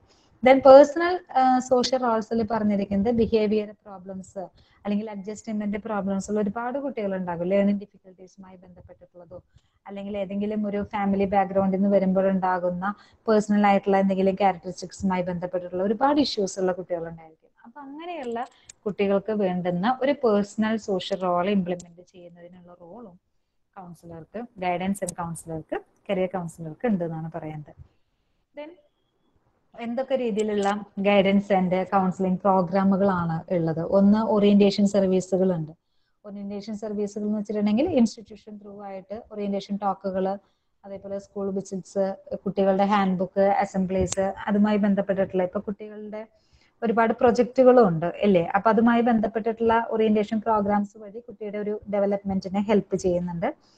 ദെൻ ഇൻഡിവിജ്വൽ ഇൻവെന്ററി സർവീസസ് ഉണ്ട്. ഒരു പേഴ്സണലൈസ്ഡ് ആയിട്ടുള്ള ഇൻവെന്ററീസ് പ്രൊവൈഡ് ചെയ്യുന്നുണ്ടെങ്കിൽ അത് ലേണിംഗ് ഡിഫിക്കൽട്ടീസ് ആയിരിക്കാം ബിഹേവിയർ പ്രോബ്ലംസ് ആയിരിക്കാം അക്കാഡമിക് പ്രോബ്ലംസ് ആയിരിക്കാം പാരന്റിങ് റിലേറ്റഡ് ആയിട്ടുള്ള ഇഷ്യൂസ് ആയിരിക്കാം. അപ്പോൾ ഓൾ ടുഗദർ ആയിട്ട് ഒരു പേഴ്സണൽ ആയിട്ടുള്ള ഒരു ഇൻവെന്ററീസ് എന്തെങ്കിലുമൊക്കെ ലഭിക്കുന്നതിന് വേണ്ടി. ദെൻ കരിയർ ഇൻഫോർമേഷൻ സർവീസസുകൾ പ്രൊവൈഡ് ചെയ്യുന്നുണ്ട്. കരിയർ റിലേറ്റഡ് ആയിട്ടുള്ള ടോക്സുകളും സ്കോളർഷിപ്സുകൾ പിന്നെ എന്തെങ്കിലും training facilities local and national employment trends opportunities അങ്ങനെ ഒരുപാട് കാര്യങ്ങൾക്കൊക്കെ വേണ്ടി ഇംപ്രൂവ് ചെയ്യുന്നതിന് വേണ്ടി ദെൻ കൗൺസിലിംഗ് സർവീസസ് പ്രൊവൈഡ് ചെയ്യുന്നത് ഒരു വൺ ടു വൺ റിലേഷൻഷിപ്പിൽ നമ്മൾ പറഞ്ഞു കൗൺസിലിംഗ് എന്ന് പറയുമ്പോൾ ഇത്രയും കൂടിയും ഒരു ഡീപ്പർ ആയിട്ടുള്ള ഒരു അസസ്മെന്റ് ആണ് അവിടെ നടത്തുന്നത്. അപ്പൊ അത്തരത്തിലുള്ള ഒരു കൗൺസിലിംഗ് സെഷൻസിനൊക്കെ ഇവർക്ക് പ്രധാനമായിട്ടുള്ള റോൾ ഉണ്ട് ദെൻ പ്ലേസ്മെന്റ് സർവീസസുകൾ ഉണ്ടാകും. ജോബ് റിലേറ്റഡ് ആയിട്ട് എംപ്ലോയ്മെന്റ് എക്സ്ചേഞ്ച് വഴിയൊക്കെ ആയിട്ട് ജോബ് സിറ്റുവേഷൻസിൽ ഒരു കരിയർ ചൂസ് ചെയ്യുന്നതിന് വേണ്ടിയിട്ടുള്ള സർവീസ് പ്രൊവൈഡ് ചെയ്യുന്നുണ്ട്. ദെൻ ഫോളോ അപ്പ് സർവീസസ് ഇപ്പൊ സ്കൂളൊക്കെ ലീവ് ചെയ്യുന്ന അല്ലെങ്കിൽ ഡ്രോപ്പ് ഔട്ട് ആകുന്ന കുട്ടികളൊക്കെ ഉണ്ടെന്നുണ്ടെങ്കിൽ അവരെ തന്നെ തിരിച്ച് സ്കൂളിലേക്ക് കൊണ്ടുവരാനും അവരുടെ കാര്യങ്ങൾ അന്വേഷിച്ചിട്ട് കുറച്ചും കൂടി ഒരു ഡീറ്റെയിൽഡ് ആയിട്ട് അവരുടെ പാരന്റ്സിനെയും ചിലപ്പോൾ ആവശ്യം തോന്നി വന്നിട്ടുണ്ടെങ്കിൽ സൊസൈറ്റിയിൽ മെമ്പേഴ്സിനൊക്കെ ഇൻവോൾവ് ചെയ്തുകൊണ്ട് അവരെ തിരിച്ചു കൊണ്ടുവരാനുള്ള ഒരു സിറ്റുവേഷൻസ് ഒക്കെ പ്രൊവൈഡ് ചെയ്യുക അതേപോലെ തന്നെ professional institutions use email for getting information from the pass outs ഇപ്പോൾ പാസ് ഔട്ട് ആയിട്ട് പോയിട്ടുള്ള കുട്ടികളുടെ ഒരു സർവീസുകളൊക്കെ എടുക്കുന്നതിന് വേണ്ടിയിട്ടൊക്കെ ഇത്തരത്തിലുള്ള പ്രോഗ്രാംസുകൾ എഫക്റ്റീവ് ആണ്. ദെൻ റെഫറൽ സർവീസസ് ഉണ്ടായിരിക്കും. എന്തെങ്കിലും രീതിയിലുള്ള പ്രത്യേകിച്ച് ട്രീറ്റ്മെന്റ് കൊടുക്കേണ്ടതായിട്ടുള്ള കുട്ടികളുണ്ടായിരിക്കും. പല രീതിയിലുള്ള ഇഷ്യൂസ് ഉള്ളവരുണ്ടായിരിക്കും. അവർക്ക് വേണ്ടുന്ന റെഫറൽ സിസ്റ്റംസ് പല ഡോക്ടേഴ്സിനെയോ ഇൻസ്റ്റിറ്റ്യൂഷൻസിലോട്ടോ ഏജൻസീസിലോട്ടോ പ്രൊഫഷണൽസിനോ ഒക്കെ റെഫർ ചെയ്തുകൊണ്ട് അവരുടെ പ്രോബ്ലത്തിന് റെസൊല്യൂഷൻ കൊടുക്കുന്ന രീതിയിലുള്ള സർവീസസുകളുണ്ട് research and evaluation and guidance and counselling അപ്പൊ ഏതൊരു ആസ്പെക്റ്റിലായാലും അതിൽ കൂടുതലുമായിട്ട് ഇനിയും വർക്ക് ചെയ്യുക അല്ലെങ്കിൽ അതിൽ ഇത്രയും കൂടി പ്ലാനിങ് പ്രോഗ്രാംസ് ഒക്കെ ഇംപ്ലിമെന്റേഷൻ ഒക്കെ നടത്തുക അങ്ങനെയുള്ള ഒരുപാട് സർവീസുകളൊക്കെയാണ് role of guidance and counselling programme in school സിസ്റ്റത്തിൽ ഇംപ്ലിമെന്റ് ചെയ്യുന്നത്. പിന്നെ പറയുന്നത് developing guidance and counselling programme in school നമ്മൾ പറഞ്ഞു the need assessment for guidance and counselling programme ഒരു നീഡ് എന്ന് പറഞ്ഞിട്ടുണ്ടെങ്കിൽ it's can be defined as a discrepancy between what is and what should be നമുക്ക് അതിൽ എന്ത് എന്നുള്ളത് നമുക്ക് എന്താണ് ചെയ്യാനായിട്ട് സാധിക്കുന്നത്? അപ്പൊ അത് തമ്മിലുള്ള ഒരു ഡിഫറൻസ് ആണ് ഒരു നീഡ് എന്ന് പറഞ്ഞിരിക്കുന്നത്. അപ്പൊ പല കാര്യങ്ങൾ കൊണ്ട് the purpose of needs assessment need assessment ആവശ്യമാണ് ഗൈഡൻസ് ആൻഡ് കൗൺസിലിങ്ങിന് വേണ്ടിയിട്ട്. ഒന്ന് ടു എൻഷുർ പ്രോഗ്രാം റെലവൻസി നമ്മൾ ഇംപ്ലിമെന്റ് ചെയ്യാൻ ഉദ്ദേശിക്കുന്ന പ്രോഗ്രാം എത്രമാത്രം ഇമ്പോർട്ടന്റ് ആണ് എന്ന് തെളിയിക്കുന്നതിന് വേണ്ടി ഒരു നീഡ് അസസ്മെന്റ് അത്യാവശ്യമാണ്. വെറുതെ ഒരു പ്രോസസ്സിലൂടെ ഒരു കരിയർ അല്ലെങ്കിൽ ഒരു ഗൈഡൻസ് പ്രോഗ്രാം കണ്ടക്ട് ചെയ്യുക എന്നുള്ളതാണ്. Whether there is any need for implementing such programmes അതിനുള്ള ഒരു സിറ്റുവേഷൻ അവിടെ ഉണ്ടോ കുട്ടികൾക്ക് അത് യൂസ് ഉണ്ടോ? അത് അഡോപ്റ്റ് ചെയ്യാനുള്ള ഫെസിലിറ്റീസ് ഉണ്ടോ? അതിൽ എത്രമാത്രം സ്റ്റാഫ് മെമ്പേഴ്സോ അല്ലെങ്കിൽ ഓഫീസ് സ്റ്റാഫുമായി ബന്ധപ്പെട്ടോ അല്ലെങ്കിൽ മറ്റുള്ള ഫാക്കൽറ്റി മെമ്പേഴ്സോ ഒക്കെ എത്രമാത്രം അതിൽ ഇൻവോൾവഡ് ആയിരിക്കും? ആ പ്രോഗ്രാം വൺസ് ഇംപ്ലിമെന്റ് ചെയ്താൽ അതിന്റെ സക്സസ് റേറ്റ് എത്രമാത്രം ഉണ്ടാകാൻ സാധ്യതയുണ്ട്? അവർ ഉദ്ദേശിക്കുന്ന രീതിയിലുള്ള ഗോൾസും ഒബ്ജക്റ്റീവ്സും ഒക്കെ ഡിറ്റർമൈൻ ചെയ്ത് അത് അതേപോലെ തന്നെ നടപ്പിലാക്കാനും അതിനൊരു ഇവാലുവേഷൻ പ്രോസസ് ഒക്കെ നടത്താനായിട്ട് സാധിക്കുന്നുണ്ടോ? അപ്പൊ ഇത്രയും കാര്യങ്ങളൊക്കെ ഉണ്ടോ അല്ലെങ്കിൽ ഉറപ്പുവരുത്തുന്നതിന് വേണ്ടിയിട്ടാണ് നമ്മളൊരു നീഡ് അസസ്മെന്റ് നടത്തുന്നത്. അപ്പൊ ഏതൊരു ഗൈഡൻസ് ആൻഡ് കൗൺസിലിംഗ് പ്രോഗ്രാമും ഒരു സ്കൂളിൽ പെട്ടെന്ന് നടക്കുന്ന ഒരു സംഭവമല്ല. അവിടെ അതിന്റെ ആവശ്യകത എത്രമാത്രം ഉണ്ട് വൺസ് അത് ഇംപ്ലിമെന്റ് ചെയ്താൽ അതിന് സക്സസ് ആകാനുള്ള സാധ്യത എത്രമാത്രം ഉണ്ട് അതിൽ എത്ര പേര് അതിൽ ഇൻവോൾവഡ് ആയിരിക്കും? ഒരു അതിന്റെ ഒരു ഇൻചാർജ് അതുമായി ബന്ധപ്പെട്ട ഫംഗ്ഷനിങ് എങ്ങനെയായിരിക്കും? അതിന്റെ ഒരു പ്രോഗ്രാം ചാർട്ട് എങ്ങനെയാണ്? ഇതിന്റെയൊക്കെ ഒരു റെലവൻസ് മനസ്സിലാക്കിക്കൊണ്ടാണ് ഒരു guidance and counselling programme school സിസ്റ്റത്തിൽ ഡെവലപ്പ് ചെയ്യുന്നത്. And there are certain steps suggested by and Bird to assess the need of school guidance programme ചില സ്ട്രാറ്റജീസ് പറയുന്നുണ്ട്. ഒന്ന് ഫോം എ പ്ലാനിങ് കമ്മിറ്റി എപ്പോഴാണ് നമ്മൾ ഒരു guidance and counselling programme implement ചെയ്യുന്നതിന് മുൻപായിട്ട് നമ്മൾ ഉണ്ടാകേണ്ട കുറച്ച് കാര്യങ്ങൾ? ഒന്ന് ഫോം എ പ്ലാനിങ് കമ്മിറ്റി ഒരു ഏതൊരു പ്രോഗ്രാം നടക്കുന്നതിന് മുമ്പ് ഒരു പ്ലാനിങ് കമ്മിറ്റി ഉണ്ടായിരിക്കും അല്ലെ? ഏതെങ്കിലും ഒരു ഓർഗനൈസേഷൻ ഏതെങ്കിലും ഒരു ഒരു ഗ്രൂപ്പ് തുടങ്ങുന്നതിന് മുമ്പ് ഒരു പ്ലാനിങ് കമ്മിറ്റി ഉണ്ടാകുന്ന പോലെ. ഒരു ആ കമ്മിറ്റി മെമ്പേഴ്സിൽ ടീച്ചേഴ്സ് പാരന്റ്സ് അതേപോലെ തന്നെ students representative school management educational functionaries other involved individuals അപ്പൊ ഇവരുടെയൊക്കെ ഒരു റെലവെന്റ് ആയിട്ടുള്ള ഒരു ഒരു ഡിസ്കഷൻസിന്റെ ഭാഗമായിട്ട് ഒരു action plan രൂപീകരിച്ചുകൊണ്ട് why it is needed for the school എന്നുള്ളൊരു രീതിയിലോട്ട് കൊണ്ടുവരാൻ സാധിക്കുന്ന ഒരു പ്ലാനിങ് കമ്മിറ്റി ഉണ്ടാകണം. Then define guidance and guidance programme goals അങ്ങനത്തെ ഒരു സിസ്റ്റം അങ്ങനത്തെ ഒരു ഇംപ്ലിമെന്റേഷൻ ഒരു സ്കൂളിൽ നടക്കുന്നുണ്ട് എങ്കിൽ എന്തൊക്കെയാണ് ആ പ്രോഗ്രാമിന്റെ ഗൈഡൻസ് പ്രോഗ്രാമിന്റെ ഗോൾ ആയിട്ട് വേണ്ടത്? അത് ചിലപ്പോ കുട്ടികളുടെ ഡ്രഗ് അബ്യൂസിനെ കുറയ്ക്കുന്നതിന് വേണ്ടി ഇത്തരത്തിലുള്ള ഒരു സർവീസ് എടുക്കുന്ന പ്രൊജക്ടുകളുള്ള കുട്ടി സ്കൂൾസ് ഉണ്ടായിരിക്കും. കുട്ടികളുടെ അക്കാഡമിക് അച്ചീവ്മെന്റ്സ് ഇംപ്രൂവ് ചെയ്യുന്നതിന് വേണ്ടി അതായിരിക്കും ചിലപ്പോൾ ചില ഗൈഡൻസ് പ്രോഗ്രാമിന്റെ ഗോൾ ചിലപ്പോൾ ചില പ്ലേസ്മെന്റ് സർവീസുകൾ ഇംപ്രൂവ് ചെയ്യുന്നതിന് വേണ്ടിയിട്ടുള്ള ഗോളുമായിട്ടായിരിക്കും ചില ഗൈഡൻസ് പ്രോഗ്രാം സ്റ്റാർട്ട് ചെയ്യുന്നത്. അപ്പൊ എന്താണ് അത്തരത്തിലുള്ള ഒരു ഗൈഡൻസ് പ്രോഗ്രാമിന്റെ ലക്ഷ്യം? ഗോൾസ് എന്താണെന്നുള്ളത് നോക്കാം. Then techniques for assessing the needs എന്തൊക്കെ നീഡ്സ് അല്ലെങ്കിൽ എന്തൊക്കെ സ്ട്രാറ്റജീസ് നമുക്ക് യൂസ് ചെയ്യേണ്ടതായിട്ട് വരും? A counsellor may use one or combination of techniques depending upon the requirements ഒന്ന് യൂസ് ഡയറക്റ്റ് ഒബ്സർവേഷൻ ആ ഒരു സാഹചര്യത്തിനെ ഡയറക്റ്റ് ആയിട്ട് ഒബ്സർവ് ചെയ്തുകൊണ്ട് അതിന്റെ നീഡ് നമുക്ക് നോക്കാം. രണ്ട് കണ്ടക്ട് സർവേ യൂസിങ് ക്വസ്റ്റ്യനെയർ ഒരു ഒപ്പീനിയൻ സർവേ ഒക്കെ എടുക്കുന്നത് വഴിയായിട്ട് അങ്ങനത്തെ അതിന്റെ ആവശ്യം ഉണ്ടോ എന്നുള്ളത് നോക്കാം. ഇന്റർവ്യൂസ് കണ്ടക്ട് ചെയ്യാം. കൺസൾട്ടേഷൻ വിത്ത് ഇൻഫോംഡ് പേഴ്സൺസ് ആയിട്ട് നോക്കാം. Record and reports of studies on needs and problems of students consult അതേപോലെ തന്നെ പല രീതിയിലുള്ള സൈക്കോളജിക്കൽ ടെസ്റ്റുകൾ ഇൻവെന്ററീസ് ഒക്കെ കണ്ടക്ട് ചെയ്യാം. ഇത്തരത്തിലുള്ള പല രീതിയിലുള്ള സ്റ്റാൻഡർഡൈസ്ഡ് ക്വസ്റ്റ്യനെയറോ ചെക്ക് ലിസ്റ്റുകളോ ഒക്കെ യൂസ് ചെയ്തുകൊണ്ട് ആ ഒരു സിറ്റുവേഷനിൽ ആ ഒരു സ്കൂളിൽ ഇത്തരത്തിലുള്ള ഒരു ഗൈഡൻസ് ആൻഡ് കൗൺസിലിംഗ് പ്രോഗ്രാം കൊണ്ടുവരേണ്ടതിന്റെ ആവശ്യകതയുണ്ടോ എന്നുള്ളത് നമുക്ക് അസസ് ചെയ്യാനായിട്ട് സാധിക്കും. Then then administer the tool once the counsellor has selected the tool he has to select the sample and administer tool personally to obtain in depth information അപ്പോൾ നമ്മൾ കുറച്ച് പേരിൽ റാൻഡം ആയിട്ട് സെലക്ട് ചെയ്തുകൊണ്ട് അവരുടെ അടുത്ത് കുറെ ക്വസ്റ്റ്യൻസോ കാര്യങ്ങളൊക്കെ ചോദിച്ച് മനസ്സിലാക്കിക്കൊണ്ടാണ് നമ്മളത് ഇംപ്രൂവ് ചെയ്യുന്നത് then implement the result the step is to the This step is the goal of the need assessment process, which helps in the implementation of guidance activities to meet the expressed needs of students in general. അപ്പോൾ നമ്മൾക്ക് കിട്ടിയിരിക്കുന്ന questionnaire കൊടുത്തുകൊണ്ടോ interview നടത്തിക്കൊണ്ടോ കുട്ടികളിൽ നിന്നോ പാരൻസിൽ നിന്നോ ടീച്ചേഴ്സിൽ നിന്നോ കിട്ടിയിരിക്കുന്ന ഇൻഫോർമേഷൻസിന്റെ ഭാഗമായിട്ട് നമ്മൾ ഒരു റിസൾട്ട് പറയാണ് there is need for guidance and programme with these goals എന്നുള്ള രീതിയിൽ then we are practice in the follow up sessions this is the last steps in assessing the need of guidance and programme and follow up of any programme is important to know how about the effectiveness of program in solving the problems of uh, students teachers and helps on അപ്പോൾ ഒരു ഒരു guidance and counselling programme develop ചെയ്യുകയും അതുമായി ബന്ധപ്പെട്ടിട്ടുള്ള ആക്ടിവിറ്റീസിൽ എത്രമാത്രം അത് success ആയിട്ടുണ്ട് അതിൽ എന്തൊക്കെ രീതിയിലുള്ള ഒബ്ജക്റ്റീവ്സ് അവിടെ ഇംപ്ലിമെന്റഡ് ആയിട്ടുണ്ട് ഏതൊക്കെ രീതിയിലുള്ള ഒരു ഗൈഡൻസ് അവിടെ കൊടുക്കാൻ സാധിച്ചിട്ടുണ്ട് അതിന്റെ ഒരു ഇവാലുവേഷൻ എത്രയാണ്? ഇത്രയും കാര്യങ്ങളൊക്കെ അറിയുന്നതിന്റെ ഭാഗമായിട്ടാണ് അത് വീണ്ടും ഒരു റിപ്പീറ്റഡ് സെറ്റിംഗ്സിലോട്ട് പോകുന്നത് that is setting up of a guidance committee അപ്പൊ ഇതിന്റെ ഭാഗമായിട്ടാണ് നമ്മളൊരു ഗൈഡൻസ് കമ്മിറ്റി സെറ്റപ്പ് ചെയ്യുന്നത്. അപ്പൊ ആദ്യം നമ്മുടെ ഒരു പ്ലാനിങ് ആയിരുന്നു. രണ്ടാമത്തത് ആ ഗൈഡൻസ് കമ്മിറ്റിയിലുള്ള മെമ്പേഴ്സ് ആരൊക്കെയാണെന്നത് ഫൈനലൈസ് ചെയ്യുന്നു.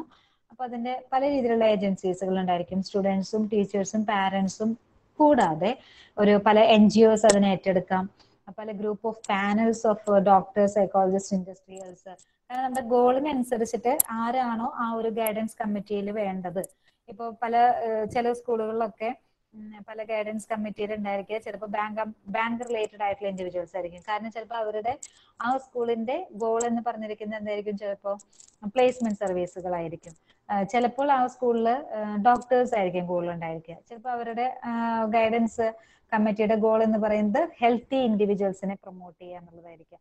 അപ്പോൾ എന്താണോ അവരുടെ ഗോൾ അതിനനുസരിച്ചിട്ടുള്ള ഒരു ഗൈഡൻസ് കമ്മിറ്റിയാണ് പ്രൊമോട്ട് ചെയ്യുന്നത്. അപ്പോൾ ഒരുപാട് കാര്യങ്ങളൊക്കെ ആയിട്ട് ഒരുപാട് ക്ലബുകളും ആക്ടിവിറ്റീസ് ഒക്കെ ആയിട്ട് ടൈപ്പ് ചെയ്തുകൊണ്ടായിരിക്കും ഒരു ഗൈഡൻസ് കമ്മിറ്റി ഇംപ്ലിമെന്റ് ചെയ്യുന്നത്. അപ്പൊ അതിന്റെ ബെനിഫിഷ്യറീസ് എന്ന് പറയുന്നത് സ്റ്റുഡൻസ് സ്കൂൾ പാരന്റ് ടീച്ചേഴ്സ് ആണ്. അതിൽ ഇൻവോൾവ് ചെയ്യുന്ന ആൾക്കാർ എന്ന് പറഞ്ഞിരിക്കുന്നത് industry and administration work related activities then general community ഉണ്ടായിരിക്കും.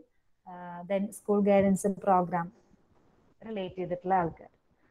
അപ്പൊ ഇത്രയും ഒരു ഡീപ്പർ ആയിട്ടുള്ള സ്റ്റേജസിൽ കൂടെയാണ് ഒരു ഗൈഡൻസ് കമ്മിറ്റി ഫോം ചെയ്യുന്നത്. Then arranging essential infrastructure for organising guidance and counselling programme അപ്പൊ എന്തൊക്കെയാണ് നമ്മളൊരു guidance and counselling programme implement ചെയ്യുകയാണെന്നുണ്ടെങ്കിൽ എന്തൊക്കെ കാര്യങ്ങൾ അവിടെ ആവശ്യമാണ്? ഒന്ന് ട്രെയിൻഡ് ആയിട്ടുള്ള ഗൈഡൻസ് പേഴ്സണൽ ഉണ്ടായിരുന്നു. ഒരു ടൈമോ അല്ലെങ്കിൽ പാർട്ട് ടൈമോ ആയിട്ടുള്ള ഒരു ഇൻഡിവിജ്വൽ അവിടെ ഉണ്ടായിരിക്കണം. അത് ഓൺ ദ ടൈം എന്തൊക്കെ രീതിയിലുള്ള ഒരു ആക്ടിവിറ്റീസ് ആണോ അവിടെ ഇംപ്ലിമെന്റ് ചെയ്യാൻ സാധിക്കുന്നത്?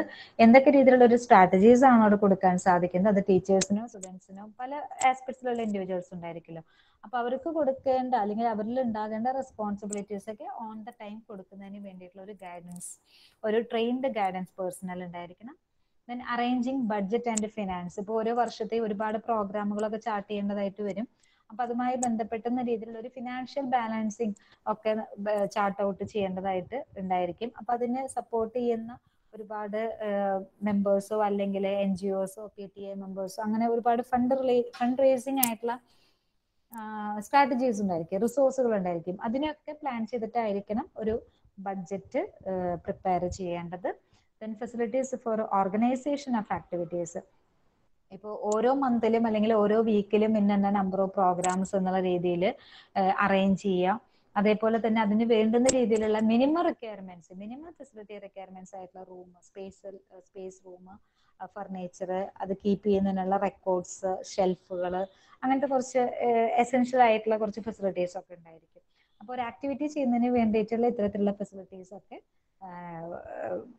കൊണ്ടുവരിക. Then publicise the guidance and counselling programme അപ്പൊ ഇവിടെ ഇത്തരത്തിലുള്ള ഒരു പ്രോഗ്രാം നടക്കുന്നുണ്ട് എന്നുള്ളത് അത് മറ്റുള്ള സ്കൂളുകളിലോട്ട് ഒരു കമ്മ്യൂണിറ്റി ഔട്ട്റീച്ച് രീതിയിലോട്ടോ കൊടുക്കുന്നതിന് വേണ്ടിയിട്ടുള്ള അഡ്വർടൈസ്മെന്റ്സും പബ്ലിക്കേഷൻസും ഒക്കെ പ്രൊവൈഡ് ചെയ്യുക. Then support from parents and community members ചില കേസിലൊക്കെ മോസ്റ്റ് ഓഫ് കേസിലും പല രീതിയിലുള്ള ഡിഫറെന്റ് ഫീൽഡിൽ നിന്നുള്ള എക്സ്പേർട്സിന്റെ ഒക്കെ ഒരു ഹെൽപ്പോട് കൂടിയിട്ടായിരിക്കും പല സെഷൻസും ഒക്കെ handle ചെയ്യുന്നുണ്ടായിരിക്കാം then develop guidance and curriculum calendar of guidance and counselling services നമ്മൾ നേരത്തെ പറഞ്ഞ പോലെ ഒരു വേഗമായിട്ടുള്ളൊരു ഡിസ്ക്രിപ്ഷൻ അല്ല. നേരെ മറിച്ച് ഒരു ടൈം ബൗണ്ട് ആയിട്ട് ഓരോ ടൈമിലും ഓരോ പീരീഡിലും അല്ലെങ്കിൽ ഒരു വീക്കിലെയോ മന്ത്ലിയോ ക്വാർട്ടർലിയോ ആനുവലിയോ ഉള്ള ഒരു പ്ലാനിങ് ഓഫ് ആക്ടിവിറ്റീസ് ഇംപ്ലിമെന്റ് ചെയ്യുക എന്നുള്ളതാണ് പറഞ്ഞിരിക്കുന്നത്. അതിന്റെ ഇടയ്ക്കുള്ള റിവ്യൂ മീറ്റിങ്ങുകളൊക്കെ കണ്ടക്ട് ചെയ്യാം അതേപോലെ തന്നെ ഒരു റിവ്യൂ മീറ്റിംഗിൽ പാരന്റ്സോ ടീച്ചേഴ്സോ സ്റ്റുഡൻസോ കമ്മ്യൂണിറ്റി അതുമായി ബന്ധപ്പെട്ട ഇൻഡിവിജ്വൽസിന്റെ റിവ്യൂ മീറ്റിംഗ്സ് ഒക്കെ നടത്തിയതിന് ശേഷം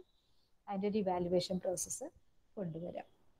അപ്പൊ ഇത്രയും കാര്യങ്ങളാണ് ഒരു ഇംപ്ലിമെന്റേഷൻ ആൻഡ് പ്രോഗ്രാം ചാർട്ടിലെ ഗൈഡൻസ് എന്ന് പറയുന്നത്. The next comprehensive guidance and counselling programme രണ്ടും ഒരുമിച്ച് എങ്ങനെ ഒരു ഇൻവോൾവ് ചെയ്ത് കൊണ്ടുപോകാം എന്നുള്ളതാണ് ഇതിൽ എക്സ്പ്ലെയിൻ ചെയ്തിരിക്കുന്നത്. ഇറ്റ്സ് എ ഒരു comprehensive guidance and counselling programme implemented by a professionally trained counsellor or a teacher counsellor അപ്പോൾ ഒരു രണ്ടിന്റെയും രണ്ടിന്റെയും ഗോൾസ് ഉണ്ട് രണ്ടിന്റെയും ഓറിയന്റേഷൻ സർവീസുകളുണ്ട് ഇൻഫർമേഷൻ സർവീസുകളുണ്ട് ടെസ്റ്റിംഗ് അല്ലെങ്കിൽ അസസ്മെന്റ് സർവീസുകളായിരിക്കും അപ്പൊ ഈ എല്ലാ ഈ രണ്ട് ആസ്പെക്റ്റിന്റെയും ഗൈഡൻസ് ആൻഡ് കൗൺസിലിംഗ് പ്രോഗ്രാമിന്റെ റോൾസും ഒബ്ജക്റ്റീവ്സും ഒക്കെ ഡിഫറെന്റ് ആണ്. അതെല്ലാതും ഒരുമിച്ച് കൊണ്ടുപോകാൻ പറ്റുന്ന രീതിയിലുള്ള ഒരു പ്രോഗ്രാം ചാർട്ട് ചെയ്യുക എന്നുള്ളതാണ് പറഞ്ഞിരിക്കുന്നത്. For this purpose the school management has to provide facilities such as the space for counselors room or guidance room and cell counseling cell furniture test അപ്പോൾ ഒരു ഒരു കോംപ്രിഹെൻസീവ് ആയിട്ട് അത് രണ്ടും കൊണ്ടുപോകാൻ സാധിക്കുന്ന ഒരു സിസ്റ്റം അവിടെ ഇംപ്ലിമെന്റ് ചെയ്യാന്നുള്ളതാണ് പറയുന്നത്. And what are the characteristics of a comprehensive guidance and counseling program? അപ്പൊ അതിൽ പറഞ്ഞിരിക്കുന്നത് വളരെ കെയർഫുൾ ആയിട്ട് അല്ലെങ്കിൽ കൺസിസ്റ്റന്റ് ആയിട്ടുള്ള ഒരു ഡെവലപ്മെന്റ് പ്രോഗ്രാം ആയിരിക്കണം. Then it should be developmental preventive and remedial and corrective programmes ആയിരിക്കും നമ്മൾ ചാർട്ട് ചെയ്യുന്ന പ്രോഗ്രാംസ് ഒക്കെ കുറച്ചും കൂടി ഫ്ലെക്സിബിൾ ആകാം. അതേപോലെ തന്നെ ഒരു ഇൻഡിവിജ്വലിന്റെ അല്ലെങ്കിൽ ഒരു സ്കൂൾ അറ്റ്മോസ്ഫിയറിന്റെ തന്നെ ഒരു എഡ്യൂക്കേഷണൽ പേഴ്സൺ അല്ലെങ്കിൽ സോഷ്യൽ ആസ്പെക്ട്സിൽ നിന്നുകൊണ്ടുള്ള കാര്യങ്ങൾ സോൾവ് ചെയ്യാൻ പറ്റുന്നതായിരിക്കണം. ദെൻ പല രീതിയിലുള്ള സർവീസുകൾ പ്രൊവൈഡ് ചെയ്യാൻ സാധിക്കണം ലൈക്ക് ഓറിയന്റേഷൻ സർവീസുകളോ ഇൻഫോർമേഷൻ സർവീസുകളോ കൗൺസിലിംഗ് സർവീസുകളോ ഒക്കെ പ്രൊവൈഡ് ചെയ്യാനായിട്ട് സാധിക്കുക. ഒരു ടീം വർക്ക് ആയിട്ട് നിന്നുകൊണ്ട് കൊണ്ടുപോകാനുള്ള ഒരു സ്ട്രാറ്റജീസ് ഒക്കെ ആയിരിക്കണം അവിടെ ഉണ്ടായിരിക്കേണ്ടത്. അപ്പൊ അങ്ങനെയുള്ള ഒരുപാട് നമ്പർ ഓഫ് ക്യാരക്ടറിസ്റ്റിക്സിന്റെ ബേസിലാണ് guidance and counselling programmes കൊണ്ടുപോകേണ്ടത്.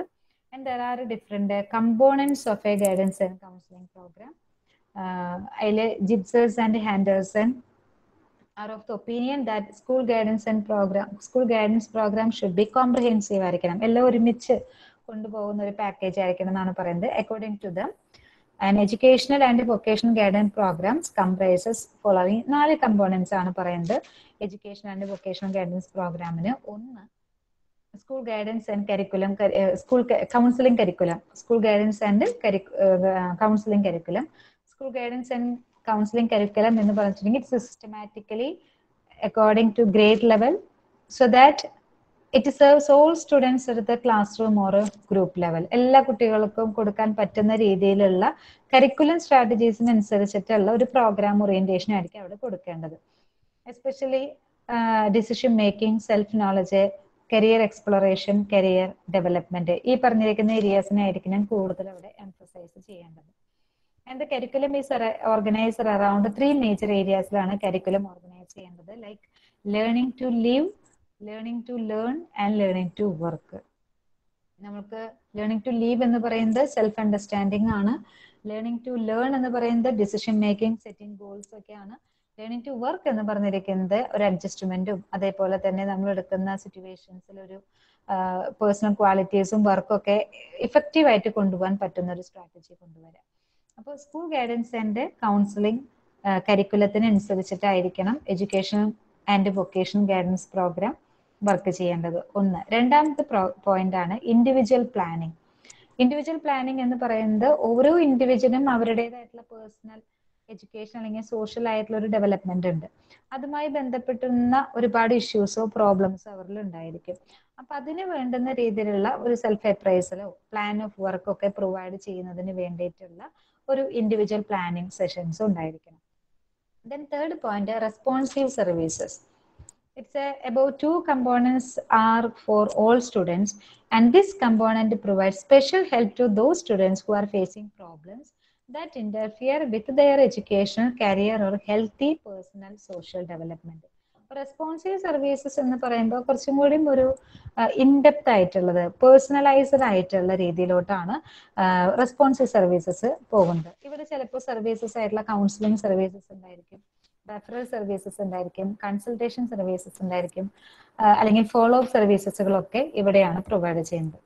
The next one പറയുന്നതാണ് സിസ്റ്റം സപ്പോർട്ട് സിസ്റ്റം സപ്പോർട്ട് എന്ന് പറഞ്ഞിരിക്കുന്നത് രണ്ട് രീതിയിലുള്ള സിസ്റ്റം സപ്പോർട്ടാണ് കമ്പോണന്റ് ആയിട്ട് പറയുന്നത്. ഒന്ന് activities necessary to support guidance curriculum including planning and responsive services ഒരു പ്ലാനിംഗ് ആൻഡ് റെസ്പോൺസീവ് സർവീസസുമായി ബന്ധപ്പെട്ട ആക്ടിവിറ്റീസ് എന്നുള്ള ഒരു അസിസ്റ്റൻസ് സപ്പോർട്ട് രണ്ട്.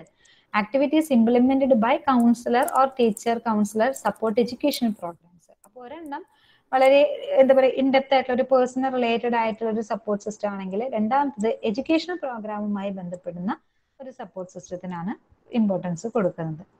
അപ്പൊ അതിൽ ഒരു suggested distribution of counsellors total time ഈ പറഞ്ഞിരിക്കുന്ന നാല് ഏരിയാസിലും ഒരു കൗൺസിലർ എങ്ങനെയൊക്കെ ഏതൊക്കെ എന്താ പറയുക എലിമെന്ററി സ്കൂളിലും മിഡിൽ സ്കൂളിലും ഹൈസ്കൂളിലും എത്ര പെർസെന്റേജ് ടൈം അവിടെ സ്പെൻഡ് ചെയ്യണം എന്നുള്ളതാണ് പറഞ്ഞിരിക്കുന്നത്. അപ്പോൾ ഇത് ഗൈഡൻസ് കരിക്കുലത്തിൽ എലിമെന്ററി സ്കൂളിൽ ആണ് കൂടുതലും ഫോക്കസ് ചെയ്യേണ്ടത് ഗൈഡൻസിൽ അത് ഇൻഡിവിജ്വൽ പ്ലാനിങ്ങിൽ ഹൈസ്കൂൾ ലെവലിലാണ് ഇൻഡിവിജ്വൽ പ്ലാനിങ്ങിൽ കൂടുതലും ഫോക്കസ് ചെയ്യുന്നത്. റെസ്പോൺസീവ് സർവീസസ് കൂടുതലും പ്രൊവൈഡ് ചെയ്യേണ്ടത് എലിമെന്ററി ആൻഡ് മിഡിൽ സ്കൂൾ കുട്ടികൾക്കാണെന്നാണ് പറയുന്നത് കമ്പാരിറ്റീവ്ലി ആൻഡ് സിസ്റ്റം സപ്പോർട്ട് പലപ്പോഴും കൊടുക്കേണ്ടി വരുന്നത് ഹൈസ്കൂൾ കുട്ടികൾക്കാണ്. അപ്പോൾ ഓരോ സെക്ഷൻസിലും ഏതൊക്കെ രീതിയിലുള്ള സർവീസുകളാണ് പ്രൊവൈഡ് ചെയ്യേണ്ടതിന്റെ ഒരു ടൈം മാൻസ്ക്രിപ്റ്റ് അതിനനുസരിച്ചിട്ടാണ് പല സർവീസുകളും പോകുന്നത്. Then setting up of a school guidance resource centre ഒരു റിസോഴ്സ് സെന്റർ ഒരു ഗൈഡൻസ് റിസോഴ്സ് സെന്റർ ഇംപ്ലിമെന്റ് ആയിട്ടുണ്ടെന്നുണ്ടെങ്കിൽ അതിന് വേണ്ടുന്ന കാര്യങ്ങൾ എങ്ങനെയൊക്കെയാണെന്നുള്ളതാണ്. അപ്പൊ അതിനൊരു ടാർഗറ്റ് ഗ്രൂപ്പ് ഉണ്ടായിരിക്കണം. നമ്മൾ ആരേനെയാണ് ഫോക്കസ് ചെയ്യേണ്ടത്? ഒരു ടാർഗറ്റ് ഗ്രൂപ്പ് ഉണ്ടായിരിക്കണം. ദെൻ ആ ടാർഗറ്റ് ഗ്രൂപ്പിൽ ഇമ്പോർട്ടന്റ് ആയിട്ടുള്ള അല്ലെങ്കിൽ ആ കൗൺസിലിംഗ് സർവീസോ ഗൈഡൻസ് സർവീസോ വേണ്ടുന്ന കുട്ടികളെയാണ് നമ്മൾ ടാർഗറ്റ് ഗ്രൂപ്പ് എന്ന് പറയുന്നത്. രണ്ടാമത്തത് ലൊക്കേഷൻ ആൻഡ് സ്പേസ് എവിടെയാണ് മീറ്റ് ചെയ്യാനായിട്ട് പറ്റുന്നത്? സ്കൂൾ ബിൽഡിംഗ് ആണോ? അത് ഐസൊലേറ്റഡ് പ്ലേസ് ആണോ? അപ്പൊ അങ്ങനെ ഒരു സിറ്റിംഗ് പൊസിഷൻസ് ഒക്കെ ഉണ്ടായിരിക്കണം. Then staff required for trained personnel ആയിരിക്കണം അവിടുത്തെ സ്റ്റാഫ് ആയിട്ട് വേണ്ടത്. For placing order collecting filing updating displacing materials ഇതൊക്കെ റിലേറ്റഡ് ആയിട്ടുള്ള ഒരു സ്റ്റാഫ് മെമ്പേഴ്സ് ഉണ്ടായിരിക്കണം. Then budget according to the budget എന്ന് പറഞ്ഞിട്ടുണ്ടെന്നുണ്ടെങ്കിൽ ഓരോ ആക്ടിവിറ്റീസും കംപ്ലിമെന്റ് ചെയ്യുന്നതിന് വേണ്ടിയിട്ടുള്ള ഒരു റിസോഴ്സുകൾ ഫെസിലിറ്റീസ് ഉണ്ടായിരിക്കണം then materials for the centre ആ ഒരു സെന്ററിന്റെ വെൽ ഫങ്ഷനിങ്ങിന് വേണ്ടുന്ന രീതിയിലുള്ള materials like counselling services students assessment and therefore it should be basic information on education and training facilities employment opportunities freeships scholarships competitive examinations and jobs for school leaves ഇതൊക്കെയുമായി ബന്ധപ്പെടുന്ന രീതിയിലുള്ള മെറ്റീരിയൽസുകളൊക്കെ നമുക്ക് collect ചെയ്യ school ലെവലിൽ collect ചെയ്യേണ്ടതുണ്ട്. അപ്പോൾ ഒരു ആ കുട്ടിയുടെ ഒരു ഓവറോൾ ഡെവലപ്മെന്റിന് വേണ്ടിയിട്ടുള്ള ഫെസിലിറ്റീസ് ആണ് ഇവിടെ ഉദ്ദേശിക്കുന്നത്. Then equipments for the centre centre ആസച്ചിന് വേണ്ടുന്ന എക്യുപ്മെന്റ്സ് എന്ന് പറയുന്നത് സാധാരണ ഒരു ഫർണിച്ചർ ഫെസിലിറ്റീസ് ഒക്കെ ഉള്ള പോലെ തന്നെ ഫയലിംഗ് ക്യാബിനറ്റ്സ് ഉണ്ടായിരിക്കണം. Display rack bulletin boards glass അലമറ ഷെൽഫുകൾ audio video recording systems infrastructure facilities ഇതൊക്കെയാണ് ഇത്രയും കൂടി ഇഫക്റ്റീവായിട്ട് റിസോഴ്സുകളായിട്ട് ഒരു സെന്ററിന് വേണ്ടുന്നത്. അപ്പോൾ ഈ ഒരു ചാപ്റ്ററിൽ പറഞ്ഞിരിക്കുന്നത് why we need the school counselling programme and the role of guidance and counselling programme അപ്പൊ അതിൽ എന്തൊക്കെ രീതിയിലുള്ള ഒരു കോംപ്രിഹെൻസീവ് ലെവലിൽ ഏതൊക്കെ സ്ട്രാറ്റജീസ് യൂസ് ചെയ്തുകൊണ്ട് നമുക്കത് ഇംപ്ലിമെന്റ് ചെയ്യാൻ